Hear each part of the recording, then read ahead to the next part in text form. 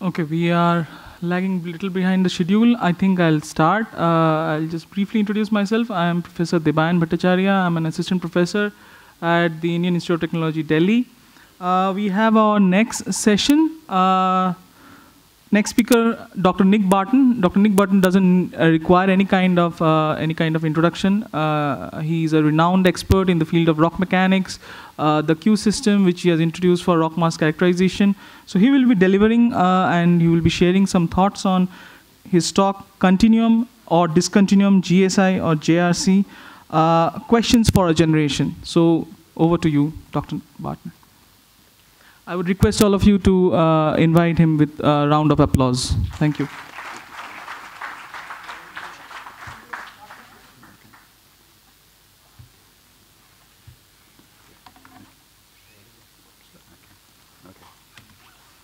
Okay, thank you very much for coming back from the nice lunch place. It's tempting to stay there longer, yeah?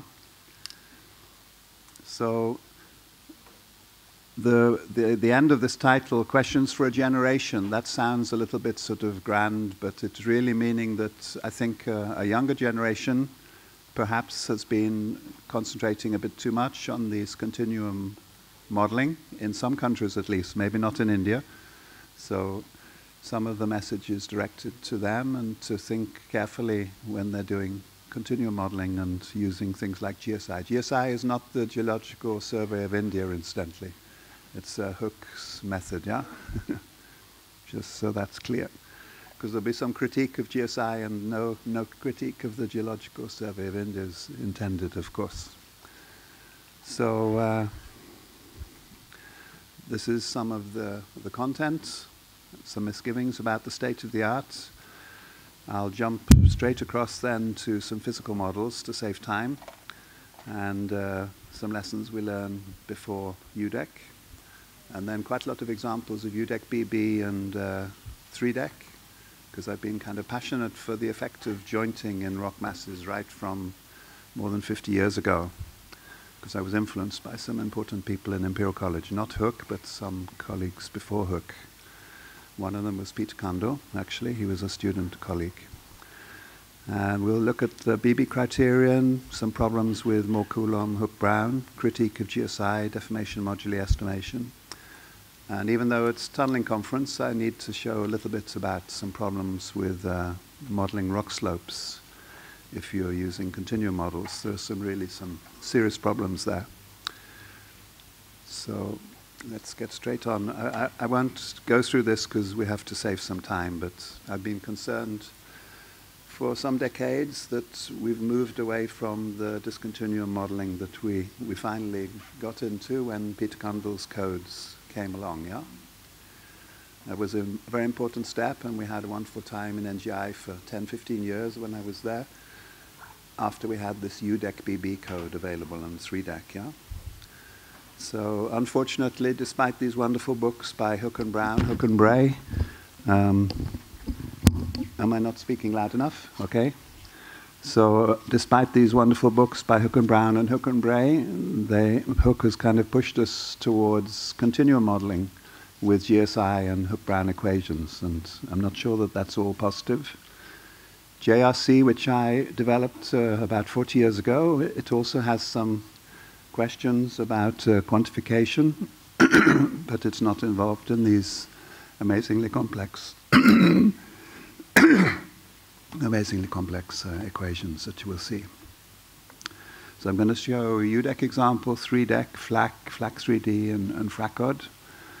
And, uh, but first, a little pre-UDEC phase when we didn't have UDEC.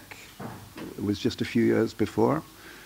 And uh, in, in the case of my thesis, it was 10 years before, because uh, Cundall had not developed his UDEC for another 10 years, I guess.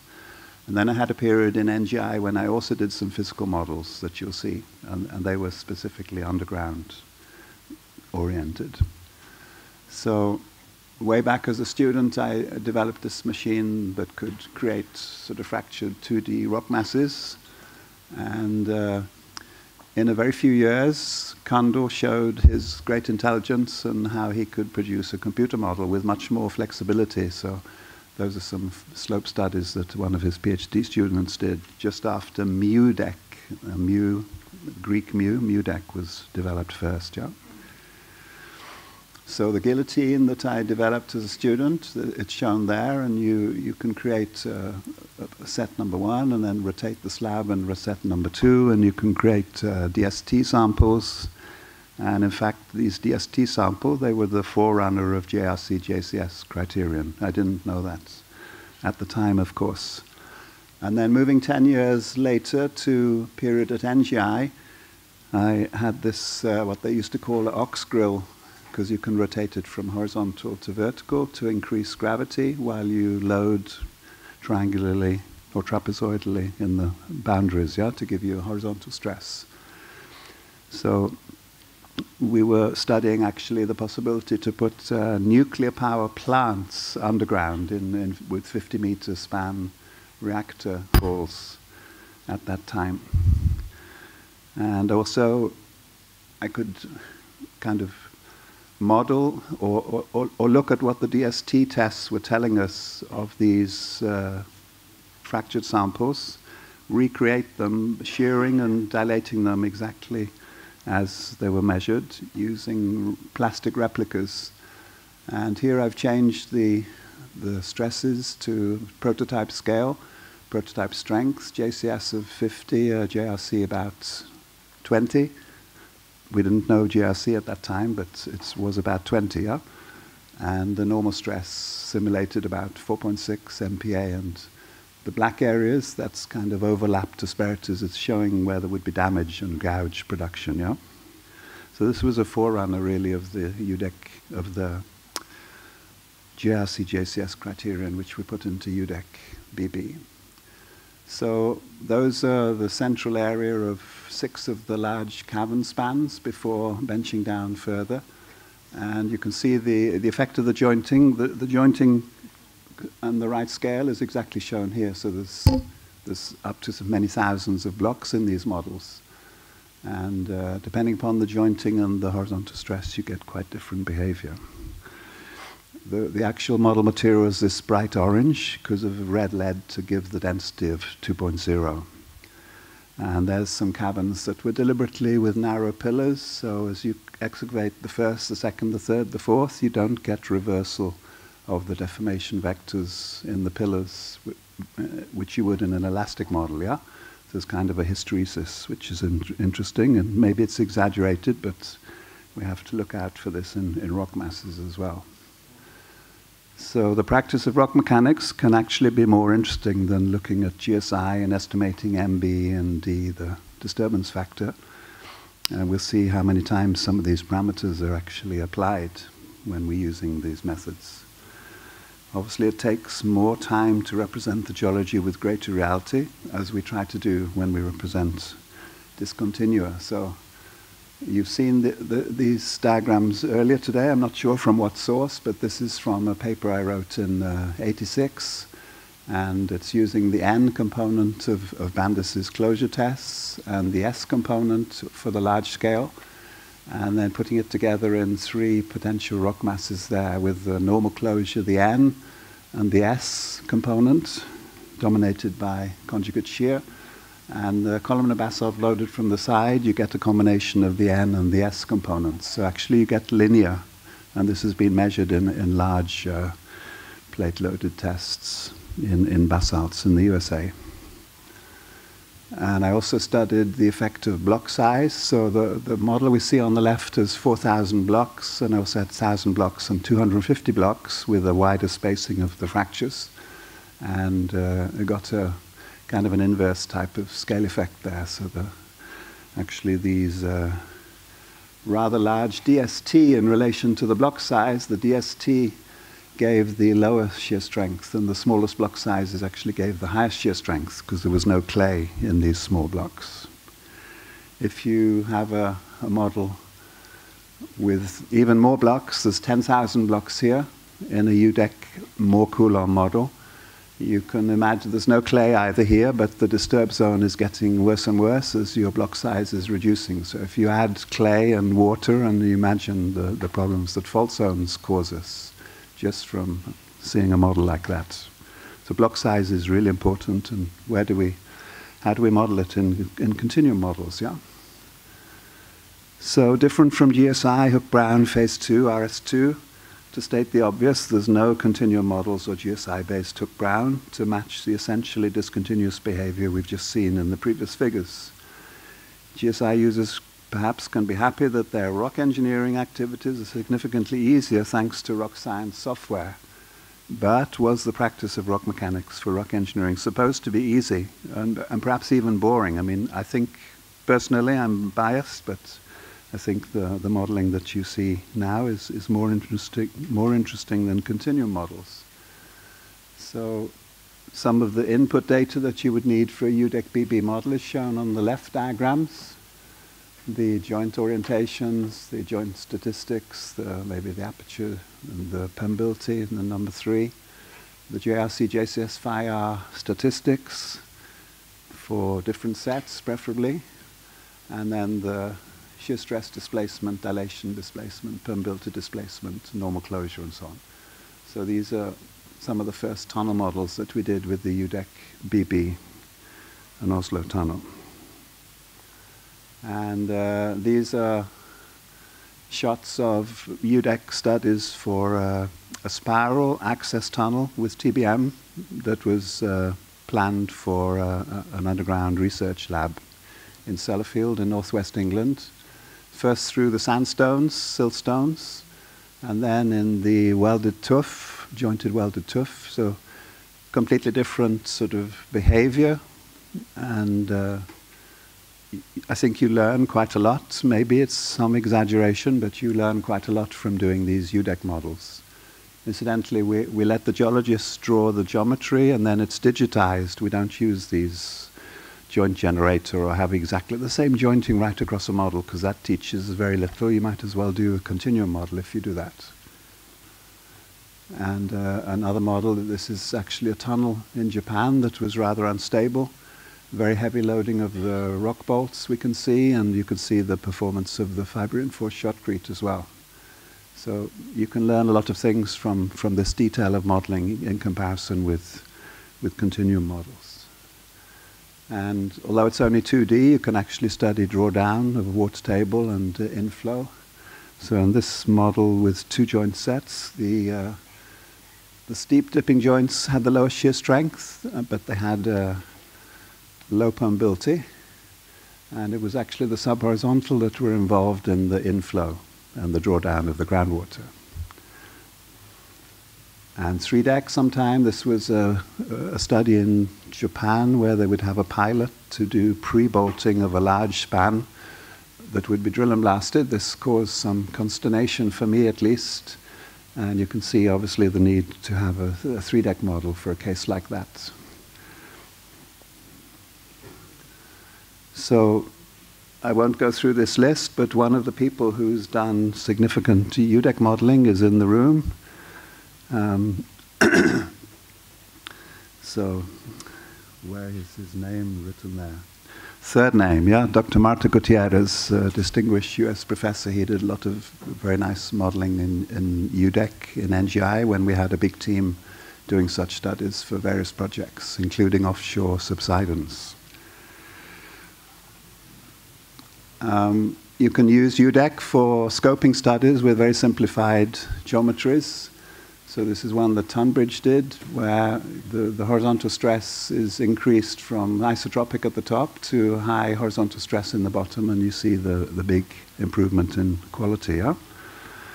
And then you can have the more realistic jointing, again, drawn by engineering geologist, actually me in this particular case, and digitized. Takes one day to digitize this geometry and, and get the geometry that you want to do the, to do the actual studies. So overbreak, we had a small section on overbreak in the lecture yesterday. So I'll be very brief. You remember this uh, model here that's Jn over Jr of six or more. It's very difficult to avoid the overbreak, even with careful blasting, actually. And we went through this before. You remember the studies that showed that several of the Q parameters could explain the, the position of the, the case of caving, yeah? So compare Q logging of rock masses with up to six parameters with the limitations of GSI. So I'm just going to show you when we're logging with Q, we are only representing six of these rock mass parameters here. So concerning structure, it's RQD over JN. Concerning joint character, it's JR over JA. And concerning the active stress, it's JW and SRF. So all these other parameters we would collect if we were going to do a worthy sort of UDEC BB or, or 3DEC model. And we collect the parameters with these histograms as, you, as you've seen yesterday. Yeah? And we can do the Q logging of core. Here, actually, I think each of these shows a five meters of core. As we go down through different core boxes, so we fill in the numbers. We're allowed five opinions of each core box, and we get a statistic because you can't exactly predict one particular RQD. There's a variation, JN, maybe some variation also. So doing histograms give you, gives you a possibility to be aware of some doubts, yeah? And uh, here I'm going to go quickly through three slides. We're going down the same borehole. We start in saprolite soil at the top. It's a borehole in sandstone for an application of Q-slope in Panama. And imagine how this contrasts with looking at a GSI diagram just in a moment. So we go from here down the same borehole. We go a bit more to the right and a bit more to the right going through the same rock type, but with much more sophistication than anything like this. Yeah. So, do we really want to think that we're doing rock engineering when we're just moving colored points around like that, with just two parameters, basically? Uh, JRJA, as you've seen yesterday, you saw the top half of this. This is a kind of a more sophisticated system for describing shear strength. This is when there's some clay coatings, some lower friction angles, yeah? so maybe if we decide we are going to do discontinuum modeling, as you've been seeing, we need the BB parameters for input. And uh, let's move straight on to this. So we would choose this equation, which has the JRC JCS, and we need scaled values of these, yeah? And this is just the direct shear tests that were done on these something like 35 uh, samples to get the peak shear strength to develop this uh, criterion and find out that phi r was an important correction compared to phi basic that it was in an earlier version of the equation. Uh, we have uh, a series of index tests. They're very simple to do. They're interesting to do as a student exercise. So you do these, these uh, index tests, and then you take the sample and you do a direct shear test and compare the prediction with the result. So I think it's a very useful exercise for learning rock mechanics, jointed rock mechanics, yeah? And it has some interest more than just choosing a GSI value, in my opinion. So those samples on the top left there, they actually happen to be these 10 samples that Choubey and I chose to represent the range of samples that we'd been testing. Here you see tilt tests of axially jointed core. They're slightly different in angles here, so back calculated, these are about uh, JRC of about 8 at that scale, and about 13 at a smaller scale, 10 centimeter scale. So tilt tests is actually a three-dimensional test. It's not looking at profiles. It's much more reliable than, than doing looking at profiles for choosing JRC. Uh, this scheme, it gives you a rough idea of, of, of where, where one ha may have the most appropriate uh, modeling choice. So UDEC BB UDEC and 3DEC MC. Maybe they stretch over a range Q of 0.1 to a couple of hundred. And maybe this is the, the most frequent range. Maybe 90% of rock masses in the world are in that range. I'm not sure. It depends. It goes from country to country, of course. Extremely to the left, you have no option but to do Van Delment or FLAC. extremely to the right, maybe boundary element or, or finite element or FRACOD. Um, when we look at these two identical motorway geometries, feeding tunnel as well, feeder tunnel on the right. Um, one is FLAC, a wonderful code developed also by Peter Cundall, and the other is UDEC, UDEC BB in this case. So which, which model do we learn most from by, by studying the, the deformation vectors, the anisotropy, the problems in the pillars, etc.? The day is much more interesting if you can do these UDEC models, these discontinuum models, because rock masses are mostly discontinuous. if we have to do continuum, then we need these yield functions, elastic brittle, elastic plastic. We get a very poor match to the observed breakouts with line drilling in this famous URL underground research lab from Canada. Uh, this PhD study in Canada, actually, the, the, the, student, an Iranian student, he found that he got a, a much better match to the overstress zone by degrading cohesion and mobilizing friction. And, and, we've done that also. An Indian colleague did that in some, some mine studies, some stoping studies some years ago. Pandey was his name. Uh, is a very nice code, so here FRACOD has been applied to this very earliest TBM tunnel from 1880, the Beaumont Tunnel, next to the Channel Tunnel, and with the assumption of just a single set of, of bedding planes, this is how the fracturing develops, extension fracturing moving into shear fracturing. In this overstressed borehole studies, we always got uh, in, in, interlo interlocked uh, conjugate shearing, log spiral shearing, yeah, where there was actual shearing on these surfaces. And the, the, the model on the right is, is FRACOD 1000 meter depth simulated with or without jointing. This is what this first tunnel looked like in, in, a few hundred meters length. We go from a wedge failure to stress failure because it's turned under a cliff 70 meter high. It's a very weak rock. And then it's under the sea and the cyclic loading from the, from the tidal effect. So it's actually a TBM. All three are TBM tunnel, if you can believe, originally. Yeah? okay, we move on to a quick critique of GSI, Hoek-Brown. So there are these amazing equations for C and phi and the, sub, and the sort of supportive equations, the, the three more there. And then these equations for modulus. And modulus, you need an estimate of the disturbance factor. And as you can see from this curve here that somebody else produced, you can virtually get any deformation modulus you want. So I don't know how people are, are using this method for, for doing numerical modeling because it's so dependent upon which d, d value you use.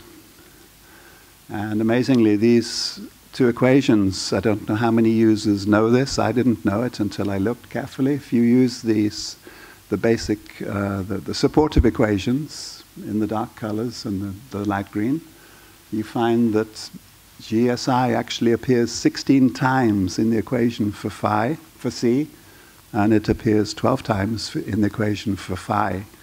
So if you make a small mistake, you can imagine what effect that has on the analysis you're trying to do. And this is a simpler method of estimating modulus if you don't have to correct for depth. E equals 10 q sub c to the power one third. And if you have to correct for depth, then both the velocity and the and the modulus they change with depth. And this is a screen a screen I published uh, a method I published in 1995 that not many people seem to have seen, but it's, it's a way to estimate modulus if you need to correct for depth or stress level.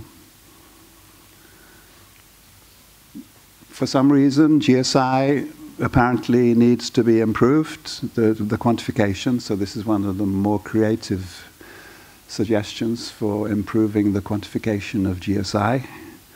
There's a series of equations in the literature that others have collected and again, a published method that thousands of people are using, why it needs improving, why so many people using it if they have such confidence in it, I don't understand.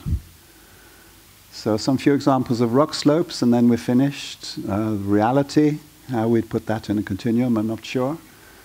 Uh, the, the famous diagrams from Hoek and Bray, these here, these are from my thesis at one stage, I was very convinced, and I'm still convinced. Uh, you, you, can have, of course, very severe weathering. In this case, it was an open pit in slates in Rio Tinto in Spain. And the whole slope, all the slopes were kind of just subsiding, and, and it was a circular type of failure. But in general, you're going to have the influence of jointing on failure. So I don't believe in a study like that. This is a FLAC 3D slice using the, the best aspects of Hoek-Brown and Mohr-Coulomb, according to the authors. And I don't believe we get failures like that in, in slopes unless it's soil or clay or rock fill. Jointed rock with faults, it's not going to fail like that. It's not going to fail like this. The, the, the statement there, this is a section of a rock mass, of a rock slope in a rock, excuse me. This is a section of a rock slope in a rock mass that obeys the Mohr-Coulomb or Hoek-Brown failure criterion. That may be a very true statement, but does any rock follow those criteria is a question. They don't fail like with those curved surfaces, unless they're extremely weak like saprolite or soil or, or rock fill. Again, we, we don't see this in rock mechanics. We don't see these beautiful, this is a wonderful set of results, but is it realistic actually of, of the way that rock fails? I don't think so this is supposedly a circular failure, but actually it's a very big wedge failure if you lead, read into the literature. And uh, the observations of failures in open pits, there are very, very few cases where some structure or faulting is not mentioned. Just the blue ones don't have a mention of structure, if we forget tension cracks, yeah? All the others are talking about jointing affecting the, the failure mode. This is maybe really circular, we're not sure underneath, but it looks like a spoon-shaped failure yeah, in, in, in completely weathered material. And this one here, this one is also not a circular failure. There are, there are various reasons for this failure. One of them is that it's uh, got a, a, plain fault surface there. And uh, it's also a, a, sort of nose that has been excavated. At the top there, you can see that the benches, they went round in a circle here, yeah? So there were several reasons for that failing, and it's not circular failure. Just go back to this. This is a way of picking up the possibility of, of progressive failure. So you, you break the cohesion with intact bridges, you mobilize the new fractures. That's a crack sound. This is a crunch sound. You scrape on the joints that may be involved, and you swish if there's a fault zone with a clay, for example. So CCSF is a criterion that I've kind of proposed. So now to the conclusions. Discontinuum modeling allows real behavior to be more closely simulated than with continuum models, and the addition of C and phi components of shear strength in Mohr-Coulomb and Hoek-Brown is seldom valid, so degradation of C and mobilization of phi seems to work better, yeah? The past two decades' use of GSI and Hoek-Brown equations to represent shear strength of rock masses has appeared useful to users, that's for sure. Some have been given pay rises because the pictures they show they develop so quickly, they look really nice, yeah? But is it true? Is it true stuff? It's been proved in a court case that, that uh, plastic zones are, are grossly exaggerated, for example. So it's seen to be full of problems for those familiar with jointed and faulted rock behavior. Although large-scale continuum modeling for sure is needed to define local scale boundary conditions, the presence of joint sets and faults will not allow circular failure to be a valid mechanism for slope failure unless the rock is very weak. So we need to do big scale continuum model, but then go into detail and see what might be the real behavior. So thank you.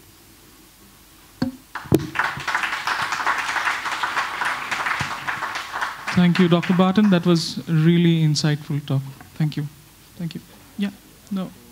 No. That's no. Thank you. So now we have our next speaker uh, for this session. Uh, it's Dr. Robert Galler. Uh, professor Robert Galler currently is serving as a full professor of subsurface engineering at Mountain University uh, Leoben. Please pardon me if I'm uh, pronouncing it wrong.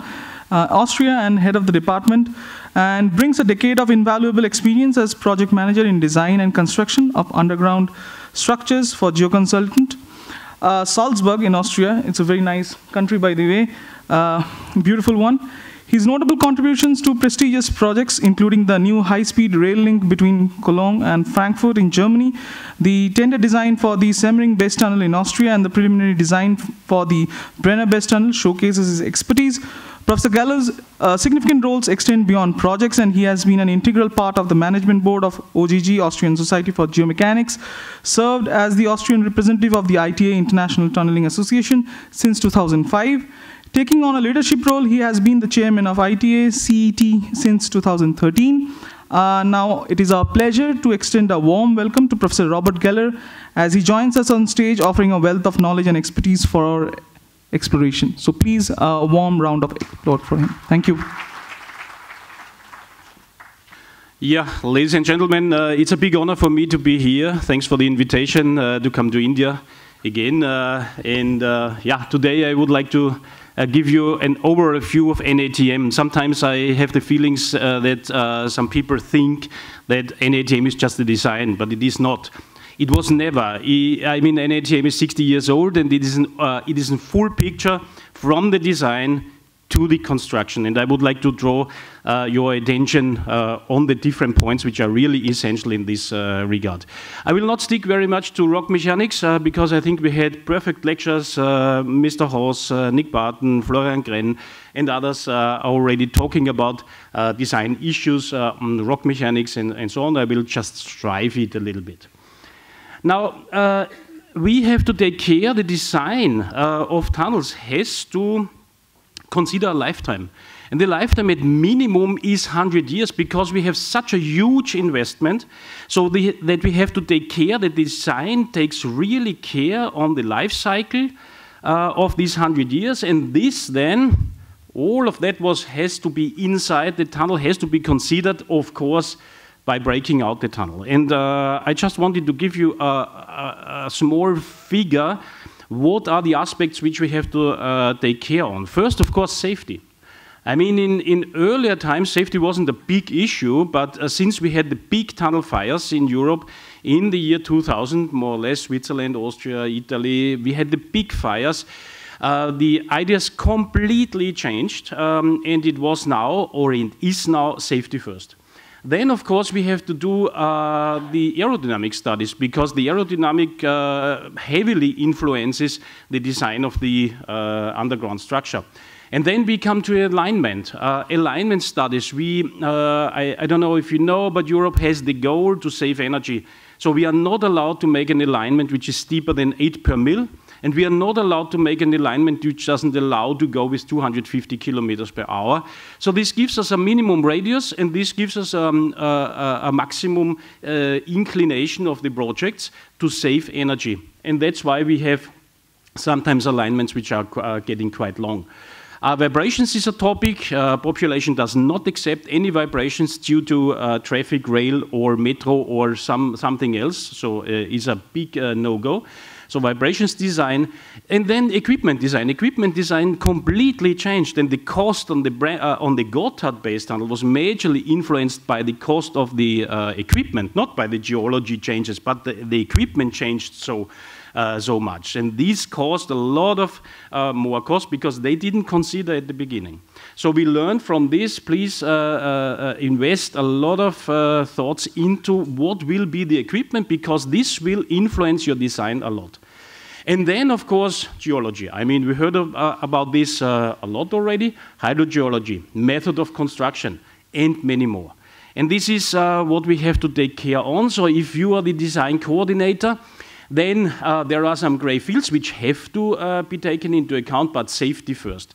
Safety will uh, influence your design the most because you need escape ways, you need shafts, whatever you need. safety drives your design.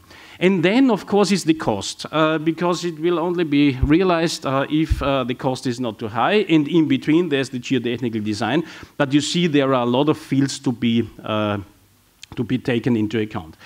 I just wanted to bring you some uh, pictures from safety. What do I mean by that? We, we have a research center uh, opened in 2021, uh, meanwhile, which is an underground structure which has four kilometers of real underground structures. So full-scale railway tunnels, full-scale motorway tunnels, and tunnels which are in, say, operation. And what we do here is we do safety trainings for the construction of the tunnel on a regular basis, which has a direct influence in the tender because safety uh, is, is uh, to be considered during construction. um, and these trainings give an output, and we do that with the site managers, we do that even with the students. So uh, everybody has to be clear what happens if an accident happens. Next point is safety during the operation. The operation is another, is another point. Uh, so uh, we have to train all the rescue teams, the police, the rescue teams, the fire brigades, all of them on safety issues because this has an influence on the design of your underground structure and we get the most uh, infos from the police, from the uh, rescue teams, okay, this and this should be done in another way. Meanwhile, we are also training uh, all of that, uh, incorporating the population. What did you know, what did you not know uh, of these underground structures so that, that you can safely uh, rescue maybe yourself. So in regard to hydrogeology, of course, we, we, we are now in a period where we are not allowed to level down the groundwater anymore. So uh, what we have to do is uh, we have to do injections. Uh, the, the situation of building drained tunnel is more or less over. Uh, because the environmental guys do not allow. The environmental guys tell us, okay, water is a really high valuable uh, good, and so uh, leveling down the groundwater is a no-go. And we did that in earlier times. And by doing that and looking into the pipes where we level down the groundwater, we see that we have sinter. And if you don't uh, clean these uh, uh, pipes, you will get stuck because your water table will raise up and then damage your uh, concrete structures. So hydrogeology is a big uh, point because maintenance uh, has to be considered in the lifetime of your tunnel. If you, if you don't clean these pipes on a regular basis, you will have a blocked drainage pipe and this causes a water pressure on your shells. You know, uh, so this goes directly into your uh, life cycle cost, and uh, this means if you have to clean these pipes be, be behind your uh, inner lining, then you have to close your tunnel. A railway tunnel has to be closed. Major problem at uh, Gotthard Base Tunnel nowadays. They have two tubes, 57 kilometers long, and one of them most time closed because cleaning, maintenance. And this uh, now they are thinking on a third tube uh, a third tube of 57 kilometers is now under, let's say, preparation. So maintenance cost is a, is a, a, a real driver of a, a, project. Let's say we open the project here. Up to here, you had cost for the construction of the, uh, of the tunnel. But then what we didn't tell the clients in many cases is, uh, dear client, you have to take care. Your cost is raising up because energy cost, maintenance cost, and if you did a design which didn't take into account the maintenance too much, this will quite, uh, be quite steep. And please, dear client, consider you have high cost at the beginning, of course, for the construction, but uh, then after commissioning, uh, a certain time after, you will have cost, majorly cost of maintenance. Our experience is that the major cost of, uh, for the maintenance, first repair works, occur after about 20 years. And then uh, you have another period where you have to do a renewal if your design uh, didn't uh, take into account all, those, all of this uh, maintenance. Uh, and, and, as I said, if we do it watertight, fully tanked, for example, we save a lot of maintenance costs with the design at the beginning. So the design has a major influence on the steepness of this uh, operation cost new design, so to say, looks like this. No pipes anymore, uh, double lining. Uh, we are not sure if we will uh, follow the double lining uh, in future because we are working on a single lining solution. Uh, but for the moment, we have more, in most projects a double lining solution.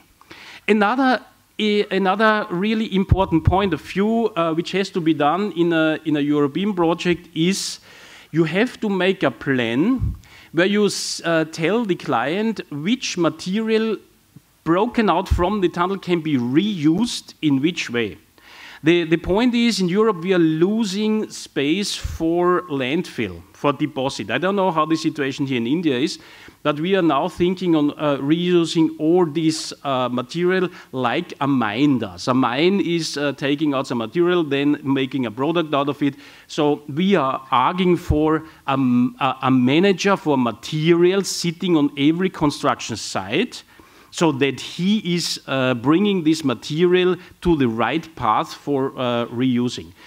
But uh, this plan has to consider also uh, depositing classes in case you, uh, you bring in, let's say, too much materials for, from the blasting, nitrogen or so, so that you cannot reuse it at the end, then depositing classes uh, should be mentioned on the plan. So this is a must uh, for the authorities. You have to show where to reuse, how to reuse, and if you cannot reuse, okay, where would you then uh, bring it? This is a little bit a change in the mind because in earlier days we just uh, deposited anywhere. Um, sustainable uh, development goals, you might know that uh, the UN has given uh, sustainable development goals. We are now uh, coming into a period where, we, where tunneling has to be a sustainable process. And the question from the EU, which was asked to us, is okay, where is tunneling considering our sustainable uh, development goals?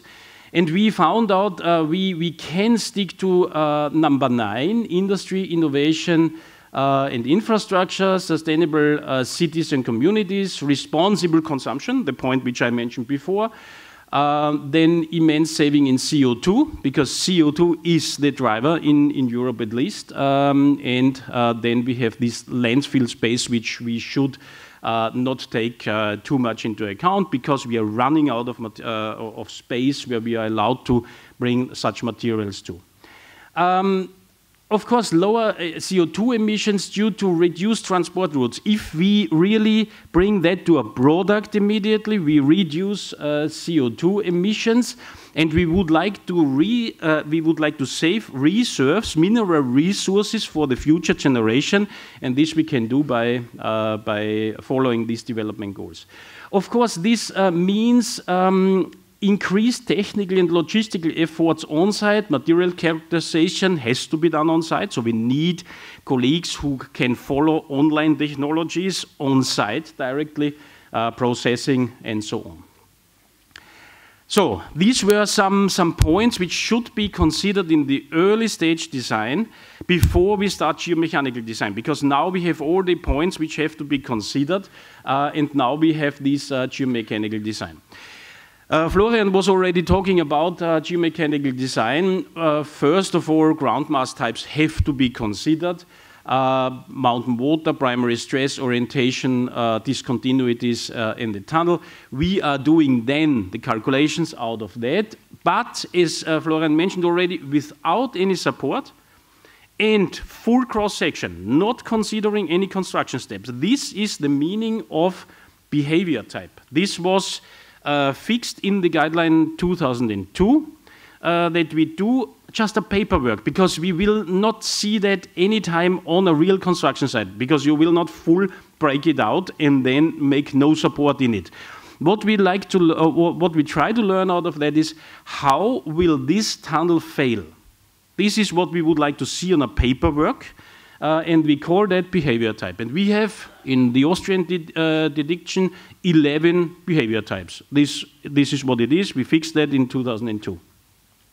And then we have assessment uh, of boundary conditions and requirements. What does it mean if I uh, underpass, for example, this university with, uh, let's say, three meters overburden, then my requirements will be a little bit different than I make a tunnel in the Himalayas. Uh, the requirements um, and the boundary conditions are completely uh, different. And based on that, I select then my construction concept and I sort out my excavation and support type, and we call that the system behavior. This, of course, then has to be calculated. Um, just another um, picture of such a behavior type. You see, we make a full cross section uh, we will look into the geological um, sketch, so to say, what will happen if I do nothing. This is a first way to understand what will happen if I do nothing. And this drives me then to, to make construction sequences, top heading bench invert, for example, sidewall galleries, whatever, um, to, to find the right methods to keep that uh, stable. I don't want to go through these uh, 11 behavior types because we saw it already today by Florian's uh, uh, uh presentation. Uh, it starts with one stable, uh, goes over the six up to the number 11, ground with frequently changing deformation characteristics. If somebody is interested in that, on the website of the Austrian Society of Geomechanics. You can download this guideline for free. So uh, everything is explained uh, very much in detail there. Uh, we have to say we have a new guideline from 2023, but it's only available for the moment in German. We are now translating it because it came up with the last uh, ISRM con Congress in October 2023. It was published. This is available in German, also on the same homepage. Uh, and as I said, we are working on the English version. Now, how does it uh, go ahead uh, when we have sorted out? We are still in the design phase. When we have sorted out the excavation and support based on the prognosis of the geology, uh, we then um, try to find an equilibrium where we say, okay, the system behavior, system means support, excavation uh, sequence, and surrounding rock. This uh, system behavior conforms the requirements if this is yes, we can go ahead. If this is no in the calculation, we have a loop. We do that as long as we comply now with the requirements. And then we can make a geotechnical baseline report of, uh, out of it where we have this excavation and support requirements written down on a plan, and this plan is, in, is installed in all the construction uh, offices uh, where we are. We start with this design drawing. Um, of course, this leads us then to some text because we have to make a contract out of that. Uh, and this contract leads then to our tender documents. Now the design, so to say, is closed. But please be clear, we are working on a prognosis. Um, I'm coming from, let's say, the Brenner base tunnel. We have 1,800 meter overboard. Nobody was there. Neither we nor the geologist. So we have to be clear that this is a prognosis and is a nice drawing and is based on fine calculations, uh, either UDEC or Plaxis or, or, or, or, whatever calculation it is. And we heard a lot of formulations today, but we have to be clear that all of that what is shown on this drawing is based on a prognosis. This is really essential. And that is why I would like to bring you a little bit into now the contractual means um, of the NATM. This is a longitudinal section of a 60 kilometer long tunnel, which is the Brenner Base Tunnel. On the right side, we have Italy. On the uh, uh, east side, we have uh, Austria. And of course, here we have an overburden of 1,800 meters. We have here some, some rocks which are better known, but in this area here, we know nothing because we have some drill cores going down, okay, but it's only a needle.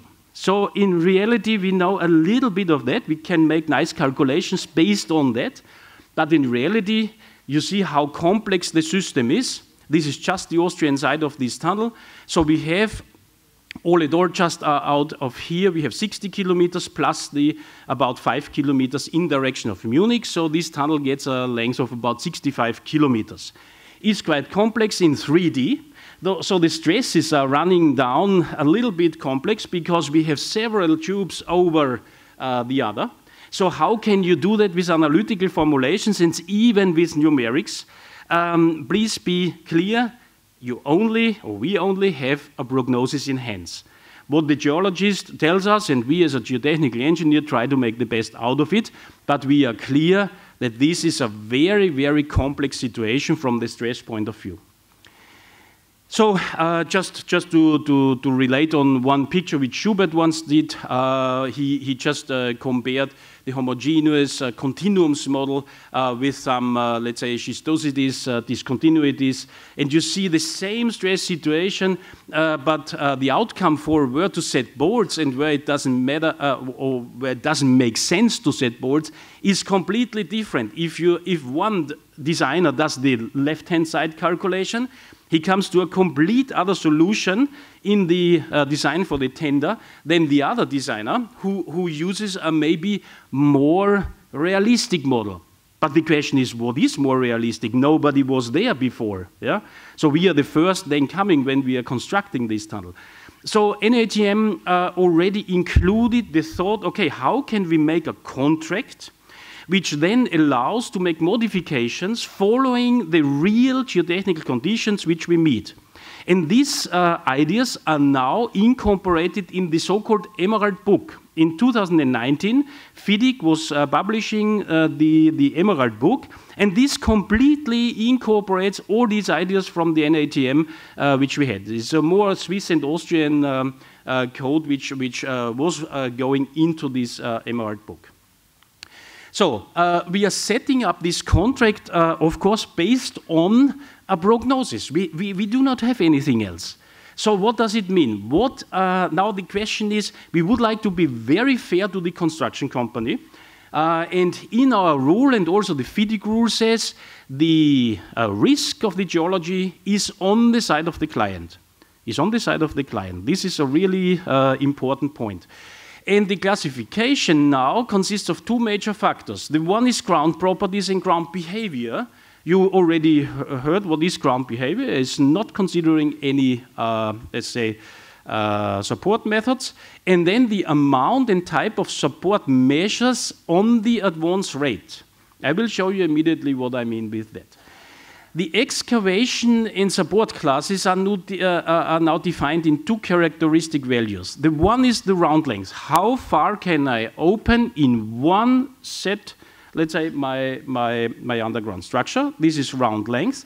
And the other is the support factor, meaning how much support do I have to bring in on this open round length? And we have a small equation for that, which says this is the support quantity. Support quantity means, okay, shotcrete, bolts, arches, wire mesh, uh, whatever you, you put in, multiplied by a rating factor. The rating factor is given in the standard. The rating factor takes into account how complicated is it to bring in this certain uh, support. So is it more complicated to bring in a shotcrete or is it uh, more complicated to bring one meter of board, bring in one meter of board?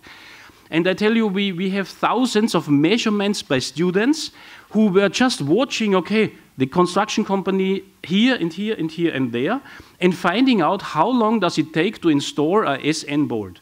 How long does it take to make a EBO board? How long does it take to bring up shotcrete? 15 centimeter, 20 centimeter, 30 centimeter, how long does it take? How long does it take to set up a, an arch? End, end, end. And by having all these measurements, by stopping, mm, uh, just a nice, uh, let's say, job for the students, but uh, for us, uh, really uh, valuable, because now we know on very uh, much construction sites how long does it take. And this is the rating factor. And this we divide by the rating area. What is the rating area? It is uh, completely different if I have to bring in my support in a 4 meter diameter tunnel or a 10 meter diameter tunnel. Because if I have a 10 meter diameter tunnel, I can use completely other machines Then, uh, if I have to do the same in a very small tunnel. That's why we consider the rating area, and this equation sums up all the material. Again, we are in the design. Yeah? We, we, we know not more than the design, and we are now calculating this support factor. What do we do with that? We still relying on the prognosis. We are saying, okay, what is our round length? And we make a subdivision in possible round lengths, what we can imagine on the specific project. And we have the support factor, which we were speaking of. How much support do we bring in? And then we, for example, sort it out in this special case. Okay, we allow a round length up to 1.3 meter in this specific case. And we calculated the uh, support factor, which considers all the support which we have, divided by the rating area. And this gives us one single number. And for this single number, we ask the construction company, tell us, what is the cost for that? Here's the design drawing. You know how much support we bring in, what is the cost for that, and how many meters can you do if you build exactly this design. So um, this gives us an exact number of dollars per meter of tunnel. And as we don't want to discuss if he brings in one board more or two boards more or one board less, a little bit less shotcrete, we said we agree on a bandwidth. This is given in the standard. We agree on a bandwidth. Within this bandwidth, the cost stays um, stable. No change of the cost if it's a little bit changing, you know. And um, the velocity which he promised uh, also stays stable. So in this box, we have fixed the construction company. This is the cost we pay, and this is the, the velocity you have to drive. We don't care if he drives really, but he has to. He, he pays a penalty if he cannot, and he has a win if he is faster.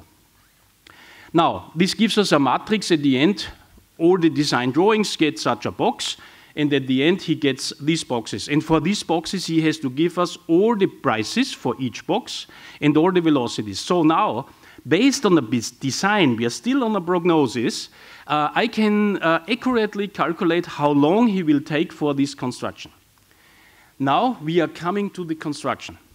In the construction, of course, I have to find out what are my ground types, what did I have in the prognosis, and what is re reality. It could be quite different, of course. Uh, then I have to uh, identify if my determination of my excavation and support was right or was wrong. I mean wrong. The geology maybe is not the one which the prognosis said. So it could change so that I need another excavation and support because my monitoring results, and this is essential, I have to verify my system behavior by, by objective monitoring. Uh, and these monitoring results now tell me, okay, my utilization in my, in my shotcrete shell is too high. I have to enlarge a little bit the shotcrete thickness. I have too little boards, too, uh, the number of boards is too little, or it's too high uh, both uh, directions. So it can happen that my system behavior complies with the system behavior which was based on the prognosis or is different. If it is different, the question is, okay, is the geology not that one which was in the prognosis, which is the most time the case, because the geologists also cannot uh, see what, what is there. So we have to um, go on either the unfavorable side, meaning we increase the support, or we are on the favorable side, meaning we reduce the support, of course. Uh, in those two ways. If it fits completely to the design, so the prognosis was exactly that one which we now meet on site, uh, uh, everything is okay. This brings me to one point. The one who does the geological prognosis must not be the one who sees the real geology. Because if you have the same person working on the prognosis and then on the construction site, he always sees what he had in the prognosis. And we have a law in Austria which forbids that these persons are the same. Because we, we turn out in troubles because he always uh, fights for his prognosis, you know? We would like to see the real geology, not the, what, what was in the prognosis. Now, what, uh, uh, what do we monitor? Normally, we monitor 3D displacement targets. We monitor with extensometers. We monitor by strain meters, by pressure cells. We monitor by measuring boards. So this is the typical monitoring which we do so that we can really find out what is now really the uh, utilization of my, uh, of my material. Uh, typically, uh, results, um, you see uh, here we have these vectors. One point is one measurement, and uh, these are typical measurements from, uh, from real construction sites, longitudinal de deformation, convergence or, the, or divergence uh, measurements. Then we measure what is happening on the surface so that we can clearly find out, okay, where is the tunnel uh, actually, how, are the, how is the surface influenced, uh, we measure the shotcrete utilization degree. If it's getting red, we are, we are coming to the conclusion, okay, we should uh, increase a little bit the thickness of the shotcrete. Uh, if it's blue, we are too, uh, we, we could reduce a little bit because as it seems the utilization is very low. Um, and then we monitor the face uh, so that we see if the face is coming in. So we do a face mapping uh, without any reflectors, of course. this is typically what we, what we are doing. Uh, the question is, why should we do so much monitoring? We were asked by the Norwegians, for example, ah, it's so expensive, why should, should we do that? I mean, uh, geological model has its limits because uh, uh nobody can look into the earth uh, before you are here. So there are limits in accuracy. Then we have a, uh, a lack of rock and rock mass parameters. Even if we have the best model, what we heard before, there will be a lack of, uh, of material parameters because we have just needles which we get out. Uh, so uh, what should we do? How complex the formulations are, uh, it will never be the, uh, meet the reality.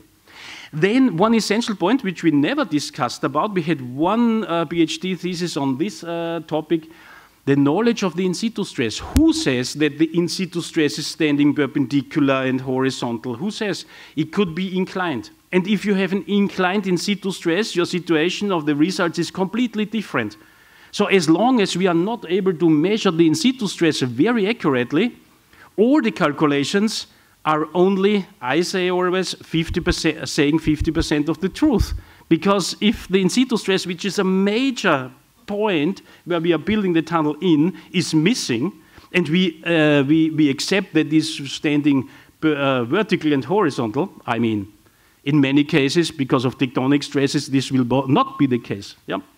So we have uncertainties and simplifications in the mathematical models. We saw already mathematical models today, but still we have simplifications in there.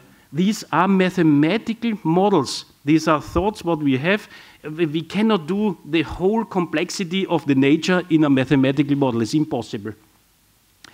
We would like to uh, verify the applied rock classification. Of course, the monitoring helps us to control the tunnel stability and to optimize the support and also to optimize the construction sequence. That's it, what we do with uh, monitoring. And then we need to, to train the geotechnical engineer because the geotechnical engineer should uh, realize, okay, here's the normal behavior, this is the normal behavior, but we are deviating from that. And now the uh, question immediately has to come, why are we deviating? And uh, the point is, he shouldn't immediately run to this uh, site manager or to the engineer when he has a deviation of, say, 1%, 2%, 3%, because nobody will uh, tell him what to do. So he should really have a feeling in his stomach when to go to the engineer, when to go to the site uh, engineer, because now it's getting dangerous. This is a good qualified uh, geotechnical engineer. Uh, he shouldn't come too late because if he reacts here, I always like to compare this with a medical doctor. If you get your medicine today, you will not be healthy tomorrow. It will take a time. Yeah? And the rock is our patient. So we give the rock some bolts, we give the rock some shotcrete. Now, the, the, the, rock will not be healthy tomorrow. It will take some time to come back to the equilibrium. And this is what I wanted to show with this uh, figure here. It's not we put in the bolts and tomorrow everything is good. Is not the case. So to react uh, on a proper time is, is really essential. If he reacts later, it could be too late. Because our experience is the situation can be very critical. The construction company will not react faster. Because the, uh, and sometimes also the engineer will not react faster because all of them are looking in the contract. Okay, what could be an advantage for myself? To get out of the contract could be an advantage for the site, uh, for the construction company in many cases. Because, of course, a collapse is not in the contract. A collapse uh, could bring some money, truly spoken. Uh, so uh, don't, um, don't think that the construction company rushes uh, because you are running and saying, okay, it's getting serious. Is not the case. It takes the same period if uh, you do it later or earlier. So it's the geotechnical engineer who has to really take care on this. And then comparing the uh, mathematical results have to take care on the fact that we have pre-deformations. If here's the face, you all are familiar maybe with the longitudinal uh, deformation profile. You know that there are pre-deformations in front of the face, but sometimes the colleagues compare the monitoring results with the calculated results, not taking into account that we have pre-deformations. So you have to find out what are your pre-deformations. Gotthard base tunnel did 80 uh, meter long extensometers into the face to know what is the pre-deformation. We do uh, pipe roofs uh, ahead, 50 meters, to learn what is the pre-deformation because otherwise you don't know what, how much pre-deformation did you already uh, get before you opened the face. And then it's essential the surveyor is not running into because you open your face. The surveyor maybe has his breakfast and then he is coming. But you opened your face maybe at 3 in the morning. So you lost four hours of deformation. This is essential. This is really essential. That's why we put all the data in a database. We really uh, write in a database when was the surveyor here? When did you open the face? We have a minutes uh, diagram where we show which procedure was done in which minute. And nowadays you have a, a, um, a app uh, at the face, and you put in, okay, we opened the face today at 3.15, and the surveyor came 7. You lost four hours of deformation. The rock did not wait and say, okay, the surveyor is at breakfast. We wait with the deformation. Uh, it's not the case. So it's really essential. And then to take care on, I just uh, have one hotspot for the uh, mounting of the uh, targets. This has to be done in a proper way, otherwise you, if you shotcrete this point, then you will not see the right deformations. Uh, another point, um, support elements are selected and installed not only by design but observation. And uh, my question is, what can be changed on site? Yeah, everything can be changed. Increase or decrease your support following the monitoring results.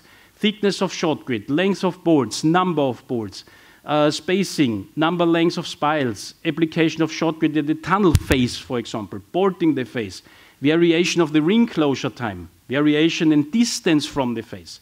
So there are all things which have to be varied following the real geotechnical conditions which you, uh, which you meet. And this then goes into this, uh, this diagram again because now you have real conditions, real geological, hydrogeological, geotechnical conditions, and now you fill in your new number, the real uh, number of bolts, the real thickness of shotcrete, everything real. And as you uh, have a box with prices, you can immediately say, okay, now we shifted, the real geology was different, now we have a new price because we have a new support factor. Yeah, everything very clear. The, the positive point is on this matter we have absolutely no claims because velocity is given by the construction company following the boxes. Uh, the cost is given by the construction company at the beginning. If we change based on, uh, on uh, wrong prognosis, we can easily uh, follow up. So I have to hurry up a little bit. Um, I would like to come uh, to time-dependent cost. Maybe we, uh, I skip that. Time-dependent cost means uh, we are paying the construction company for a certain time. And uh, what my example is saying is uh, we have an excavation class 1, 2, and 3, and in the prognosis, we said we have 100, 100, 100 meters on each of them. Uh, and uh, the bidder, the construction company, said, for this class I make 10 meters a day, in this class I make 5 meters a day, in this class 1 meters a day. I can immediately calculate, okay, thanks for the velocities. Then, if we have 100 meter in the prognosis, we can say, okay, for this we need 10 days, 100 divided by 5, 20 days with this, uh, 100 divided by 1, be 100 days gives all in all 130 days. So the real geology was different and required uh, support class number one for 140 meters instead of 100. Uh, support class number two for 80 meters instead of 100. Uh, support class three, uh, 80 meters for 100. All in all, hopefully the tunnel has the same length, uh, of course. Um, so I take the velocities which he told me at the very beginning in the tender stage, and I can immediately say how, how long this construction may, uh, may last. And I do the same calculation, 140 divided by 10, etc. I sum it up, and this gives 110 days. And this is the deadline for the construction company. I will not pay the construction company after these days, even if it takes longer. He promised velocities uh, based on the design, everything, and we stop paying after this date. Of course, if it turns out that uh, we have uh, much, uh, let's say, worse geology, it can go vice versa. It can go on the other way, so that here I get 150 days, so I pay him for 150 days. This was the major uh, idea of NATM also in the beginning. Another very in, uh, interesting and important point is we have, for the moment, 13 different kinds of bolts. And these different kinds of bolts are set, and I just brought one example, uh, is an injection bolt, uh, simultaneous drilling, installing, injection, and then tensioning. And my question is, when we look to some construction sites, are the miners properly trained? Are the miners educated? Sometimes I have a feeling we are, have brilliant engineers, but we, we hand over this work to completely untrained people. How crazy is this? It's like if you go in a medical uh, hospital and then the doctor, which comes to you, which is the worker, has no idea of how it works. But the, uh, but the boss knows how it goes. But the boss is not there. So what we see really often is the, mimer, the miners have no idea of how it has to be done. So we have to train the miners because the engineers are well trained. This is my, uh, uh, let's say, uh, experience. We have highly um, automized um, machines on construction sites. And we leave it to people who have no training on that. It is a little bit crazy in my mind um, because this needs training. Uh, and my question is, are the miners properly trained again? The accuracy in the clearance profile in drill and blast could be significantly improved and thus reduce the acquire, uh, required amount of shot bit if we train the miners who are doing this job. The other example is also the shotcrete. We are relying on the material shotcrete. We, we, we as engineers think that these guys who are applying the shotcrete know how to do it. I tell you, we have three times the same receipt on a construction site. We did tests, uh, three lots, but always the same receipt. We did tests on the shotcrete. It was completely varying. Uh, I don't know what the one group did and what the other did. And this is essential. So they apply a material on which we rely in our calculations, 100%. We trust that the miners are able to put this material in a high quality on the wall, but it is not done. And this again brings me to the question are the miners really properly trained? Sometimes we see people there who have no idea how this material is working, how this material is mixed, how it is sprayed. It is a completely different if I have this distance for, uh, with my shotcrete nozzle to the wall or I go two meters uh, away. So the quality of the shotcrete on the wall will be completely different. So this has to be trained. We uh, set up uh, training in our underground research training uh, center. We set up trainings for miners because we see that this is a really lack, and this is a mining group who was trained.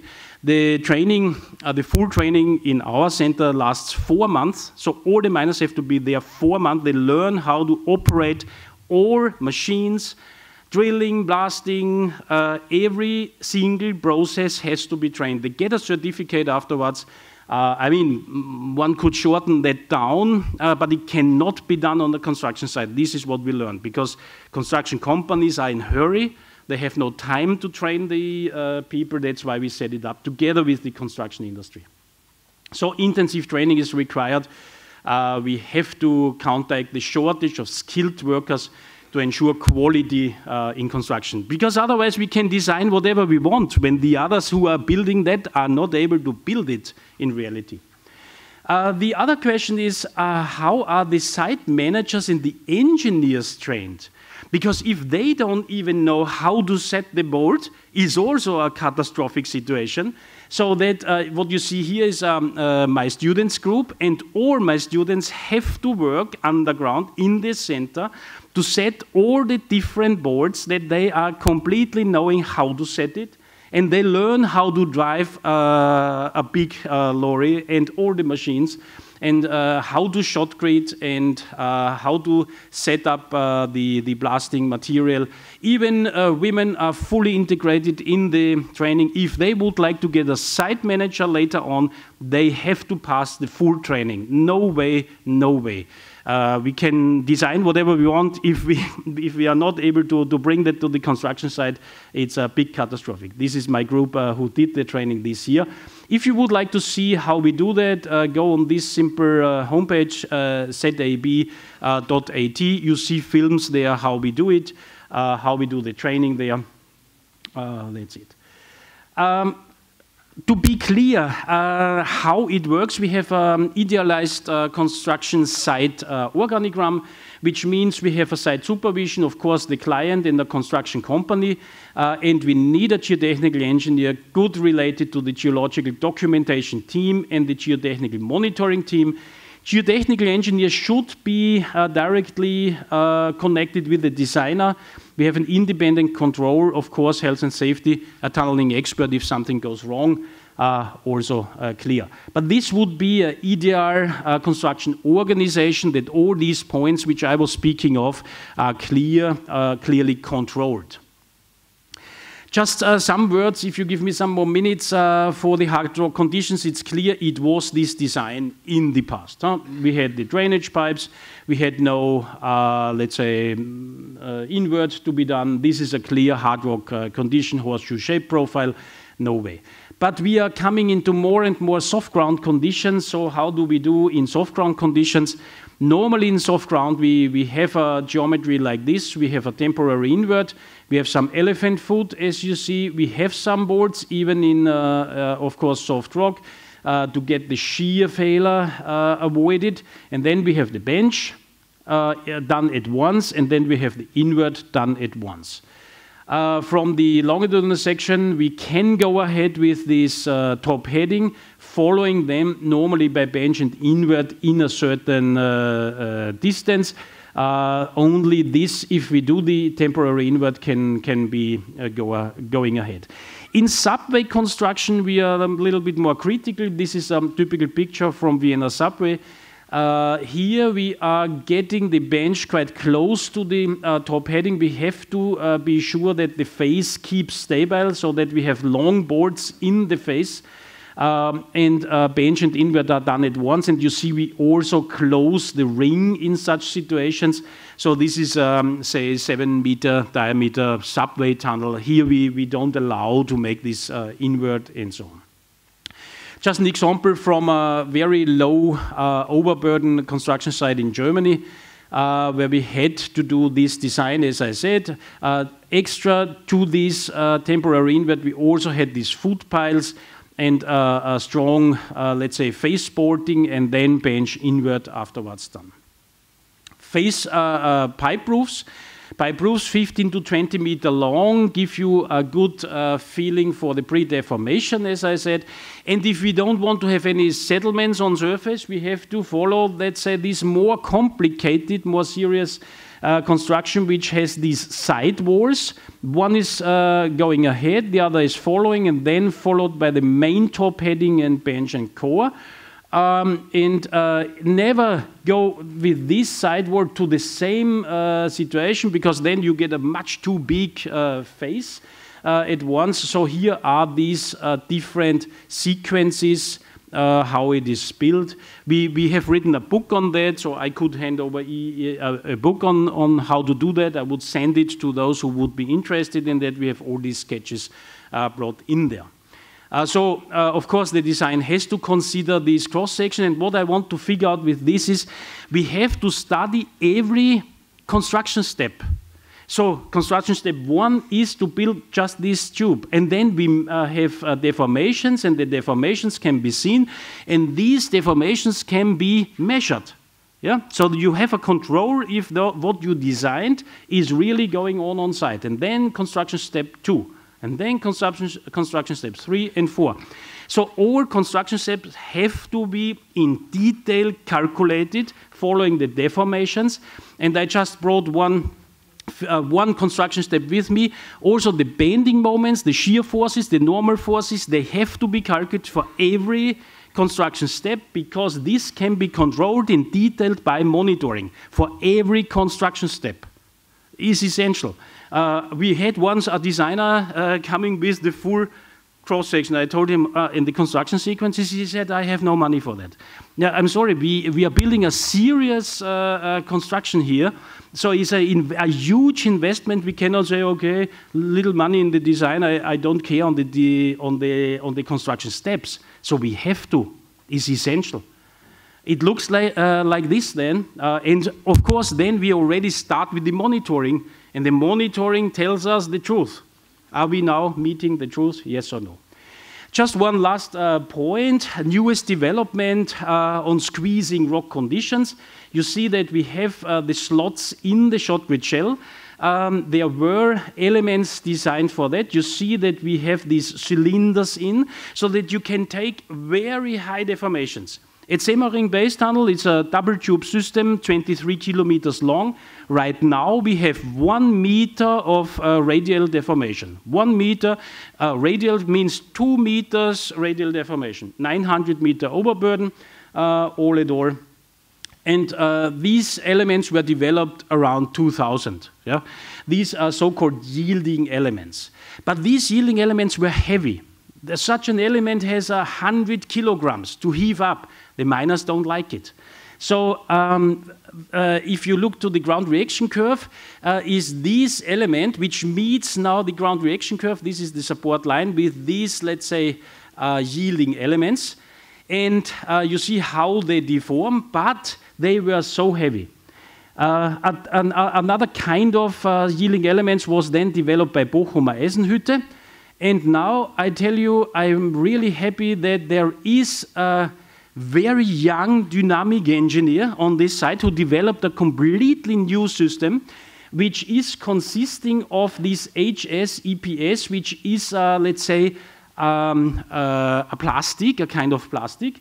Uh, and this uh, plastic can take these high loads, and we now are uh, uh, taking in into the slots these elements. Has almost no weight and has a completely perfect resistance. He's making his PhD on that, and it works perfect um, uh, in the Semmering uh, base tunnel already and on many construction, other construction sites. His name, by the way, is uh, Mr. Entfellner. Those who are joining our uh, ITACET uh, lunchtime series will have seen him maybe, because we do that or, uh, or every uh, second Tuesday in the month. This is the element really easy to heave up. The miners like it very much. You can cut it down with a length whatever you need. If your round length is extending, you, you put an element which is longer or a shorter one, and you can also, by having these elements climbed together, uh, certify, uh, let's say, how thick it is. Yeah, and by the bolts we developed, because we saw often these uh, damaged bolts, just these uh, rings, steel rings underneath the bolts, so that they also can deform. With this, uh, I'm through the ideas of NATM from the design uh, to the construction. I hope I was able to bring you the full concept uh, uh, uh to the audience, and uh, thanks for your attention, and I'm open for questions. Thanks for listening. Thank you. Thank you, Dr. Galler. It was, I think, a very captivating talk. thank you once more. Uh, now I request Professor Debine to extend our gratitude for this profound talk by Dr. Robert Galler by giving a memento as a token of appreciation.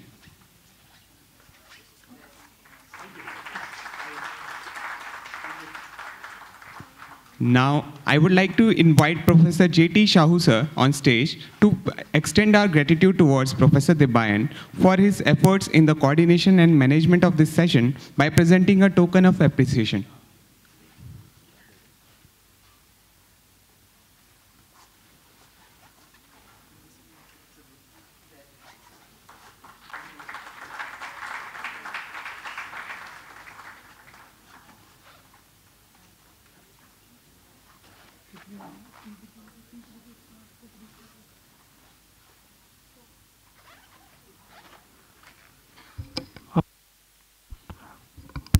Now we'll break, break take a break uh, for tea and we'll resume at 4.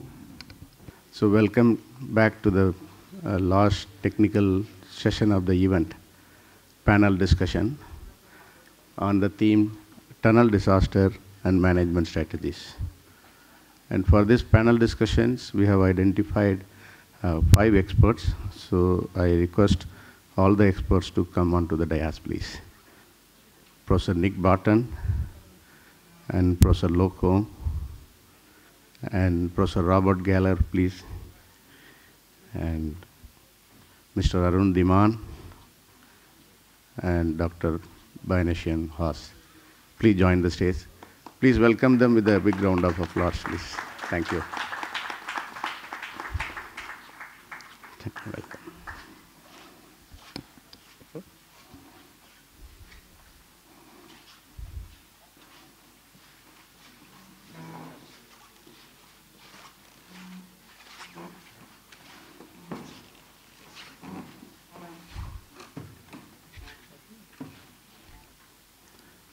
Thank you all for agreeing to be part of the panel discussion. Thank you very much.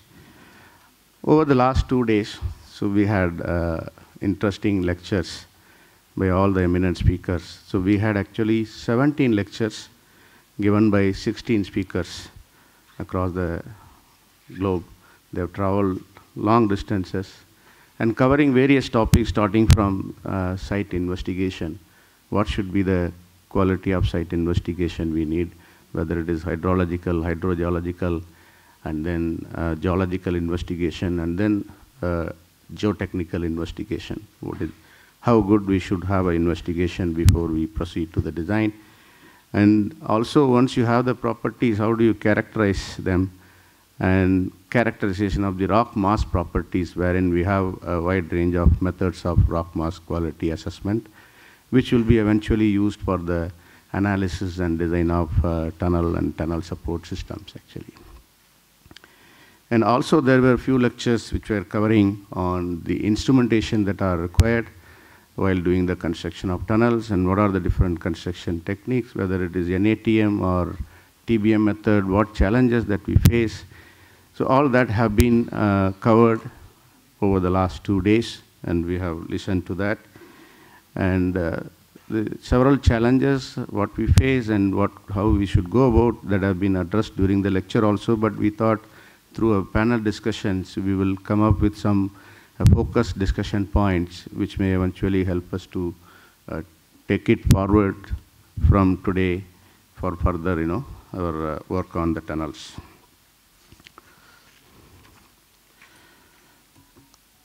I think the site investigation, all of us know that is always, you know, discussions happens, you know, what accuracy of investigation we need at what cost and, you know, so this is always a thing, uh, quantity and quality and the accuracy of investigation with which, you know, we have to uh, get the information for the uh, safe design and construction of the tunnel. There is always a debate and what extent and how much uh, money that we can afford.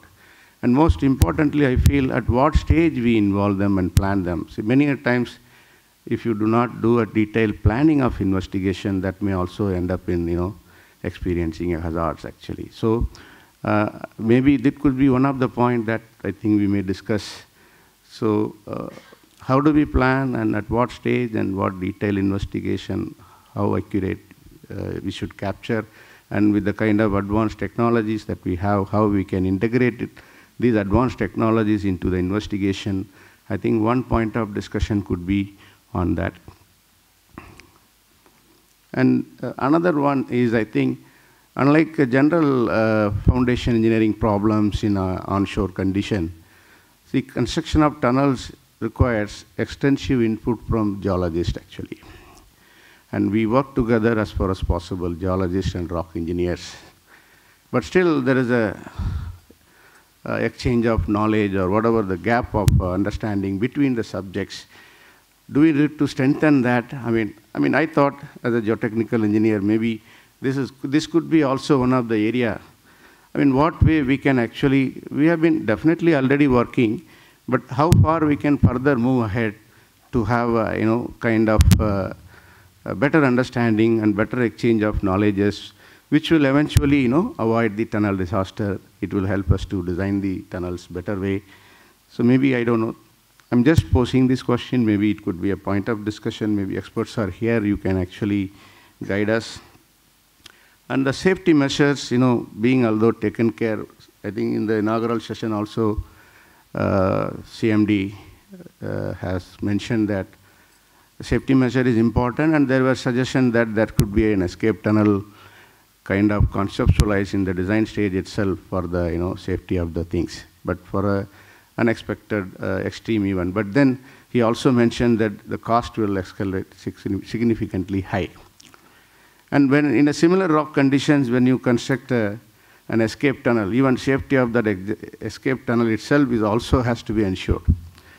So uh, conceptualizing such kind of thing, you know, for an extreme event, is it a good idea or what is that we should do?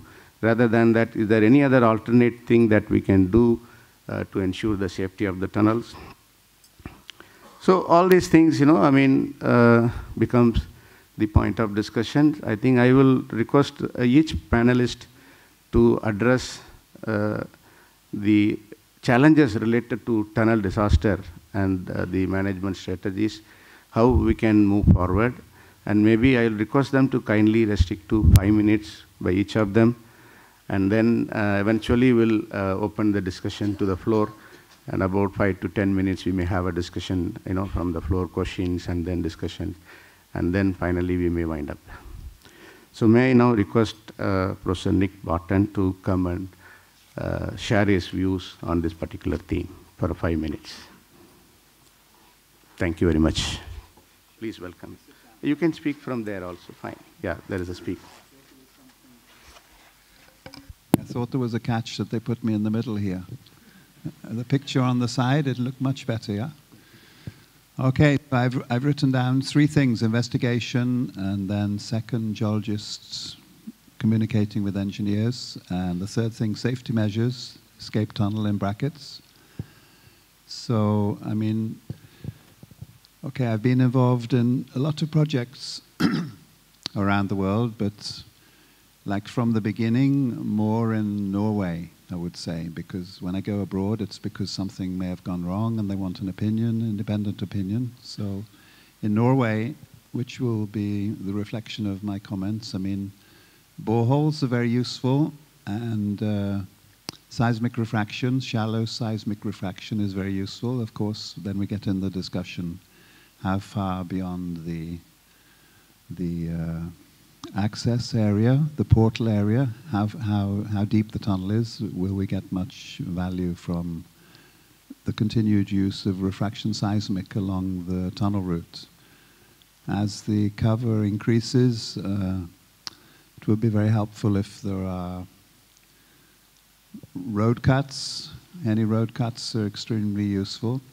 I mean, even in terrain where you have deep weathering, you're going to get some value from road cuts because the road cut will be getting below the the area of, of, of deep weathering and you can do rock mass characterization of the road cuts.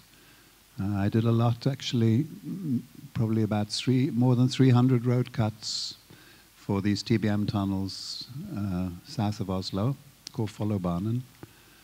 And uh, it was not a perfect result. It was a huge statistic, but because the tunnel was, say, 30, 40, 50 meter depth rather than 20 meter depth, I was a little bit pessimistic on the rock quality. So I had a little bit lower Q values. I think it, the, the weighted mean was between 11 and 16. And they had, they had a, an escape tunnel between these TBM tunnels for some kilometers, and there they did Q logging in a drill and blast tunnel at a little bit deeper than my road cuts, yeah. And they had a quality closer to, say, 30 or 40 for Q. And this sounds very nice, but actually it was showing, uh, it, it caused the TBM to have a little bit more difficulty than I would have predicted in my model because there was less jointing. And uh, even though they had uh, penetration rates of roughly two meter per hour, the, the final end of tunnel results of the A over R, the actual advance rate over the, the advance rate over the about two year tunnel construction for nine kilometer north and nine kilometer going south, the AR was actually 0.5. So say 10, 12 meter per day average. So just because the, the rock was more massive than expected, and there was a whole set of seismic refraction results that I had not seen uh, between low velocity zones. There was, there was, concentration on low velocity zones, what problem that would cause for the TBM and so on, and permeability and impermeabilization.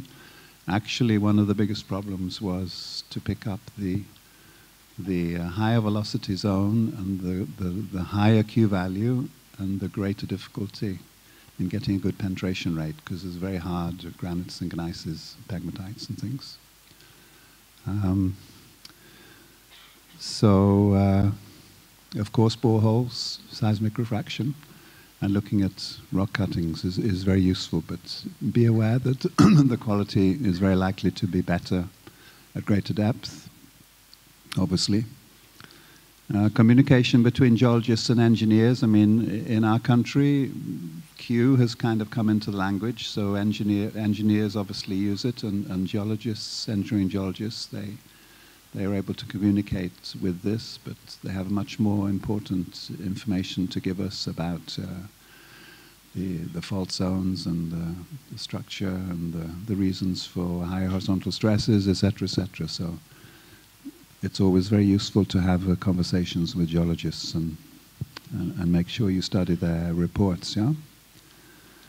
Uh, mustn't use too many minutes here. So safety measures, the third topic. I mean, if we have twin tunnels, we can have these escape tunnels every 300 meter, and, and that in a way is Im improving the safety of a project if you have twin tunnels anyway, instead of a, a single big tunnel. And uh, so that, that's the logical way to have, to increase the safety without increasing the cost too much, that you have twin tunnels instead of a possible double, double track tunnel, yeah? So I think I've used five minutes. So next person. Thank you, Professor Barton. Yeah. So now I request uh, Mr. Lok Home to give his address. Yeah, thank you very much. Um, sort of on the investigation, especially for TBM tunnels, in, a, in, in the cities where the geology is known, the more investigation you do, the better. More core, uh, core logging, the more information, the better uh, the, uh, of course, the end result will be. But you should do it in a city because you got a higher risk. You can't afford subsidence. You, uh, you got buildings. But in the Himalayas or any mountainous condition, absolutely just about impractical to do a whole lot of drilling. Just uh, physically, you can't do it and secondly, uh, expensive, very expensive. I'm a great proponent, in which we don't do in our industry, of doing more in tunnel as we go, geological investigation, mapping, and uh, and we don't. There isn't a tunnel that I can name that there's an experienced geotechnical guy in a TBM tunnel trying to analyze what's ahead of them and conveying that to the operator. We just don't have that in our systems, and we should have it in our systems. We should sort of oblige the geotechnical guys to be in the TBM with the operator, telling them, looking at the data, knowing what should be in front of them, and telling them, hey, here's how you should operate this machine for the next 20 meters. We just don't have that in the industry, and we should have it because uh, we have all these good Q systems and other systems I might understand half but I'll bet you there isn't one operator in the world that understands one tenth of it. So how can we expect him to adjust to these conditions when he's not even aware of them? So um, we don't do that in our industry, so we should do it. Uh, and the other thing about our modern TBMs, we should uh, we can build a machine to go through just about anything. We have these new crossover machines that we can turn into EPB machines, hold the face, advance. We can convert them back to be open machines and take high rates of advance. Yeah, they're expensive, but as we tried to show in our paper yesterday, hey, the expense can pay off in meters per month, and uh, don't get don't uh, get overwhelmed by the cost of these machines. They, uh, just try to get it right for the conditions. Safety-wise, I think um, clearly, if you see it, I can't even remember uh, in a line tunnel when we've had an accident that uh, of any big degree. Uh, what we do lack in in um, line tunnels is a flexibility on lining.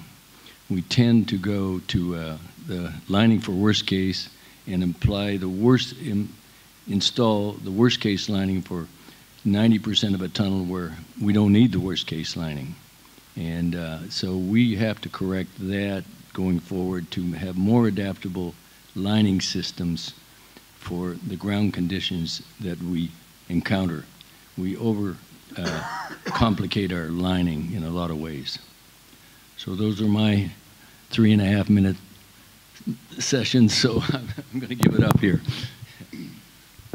Thank you, Mr. Hong. Uh, may I now request uh, Mr. Arun Dhiman to share his views, please.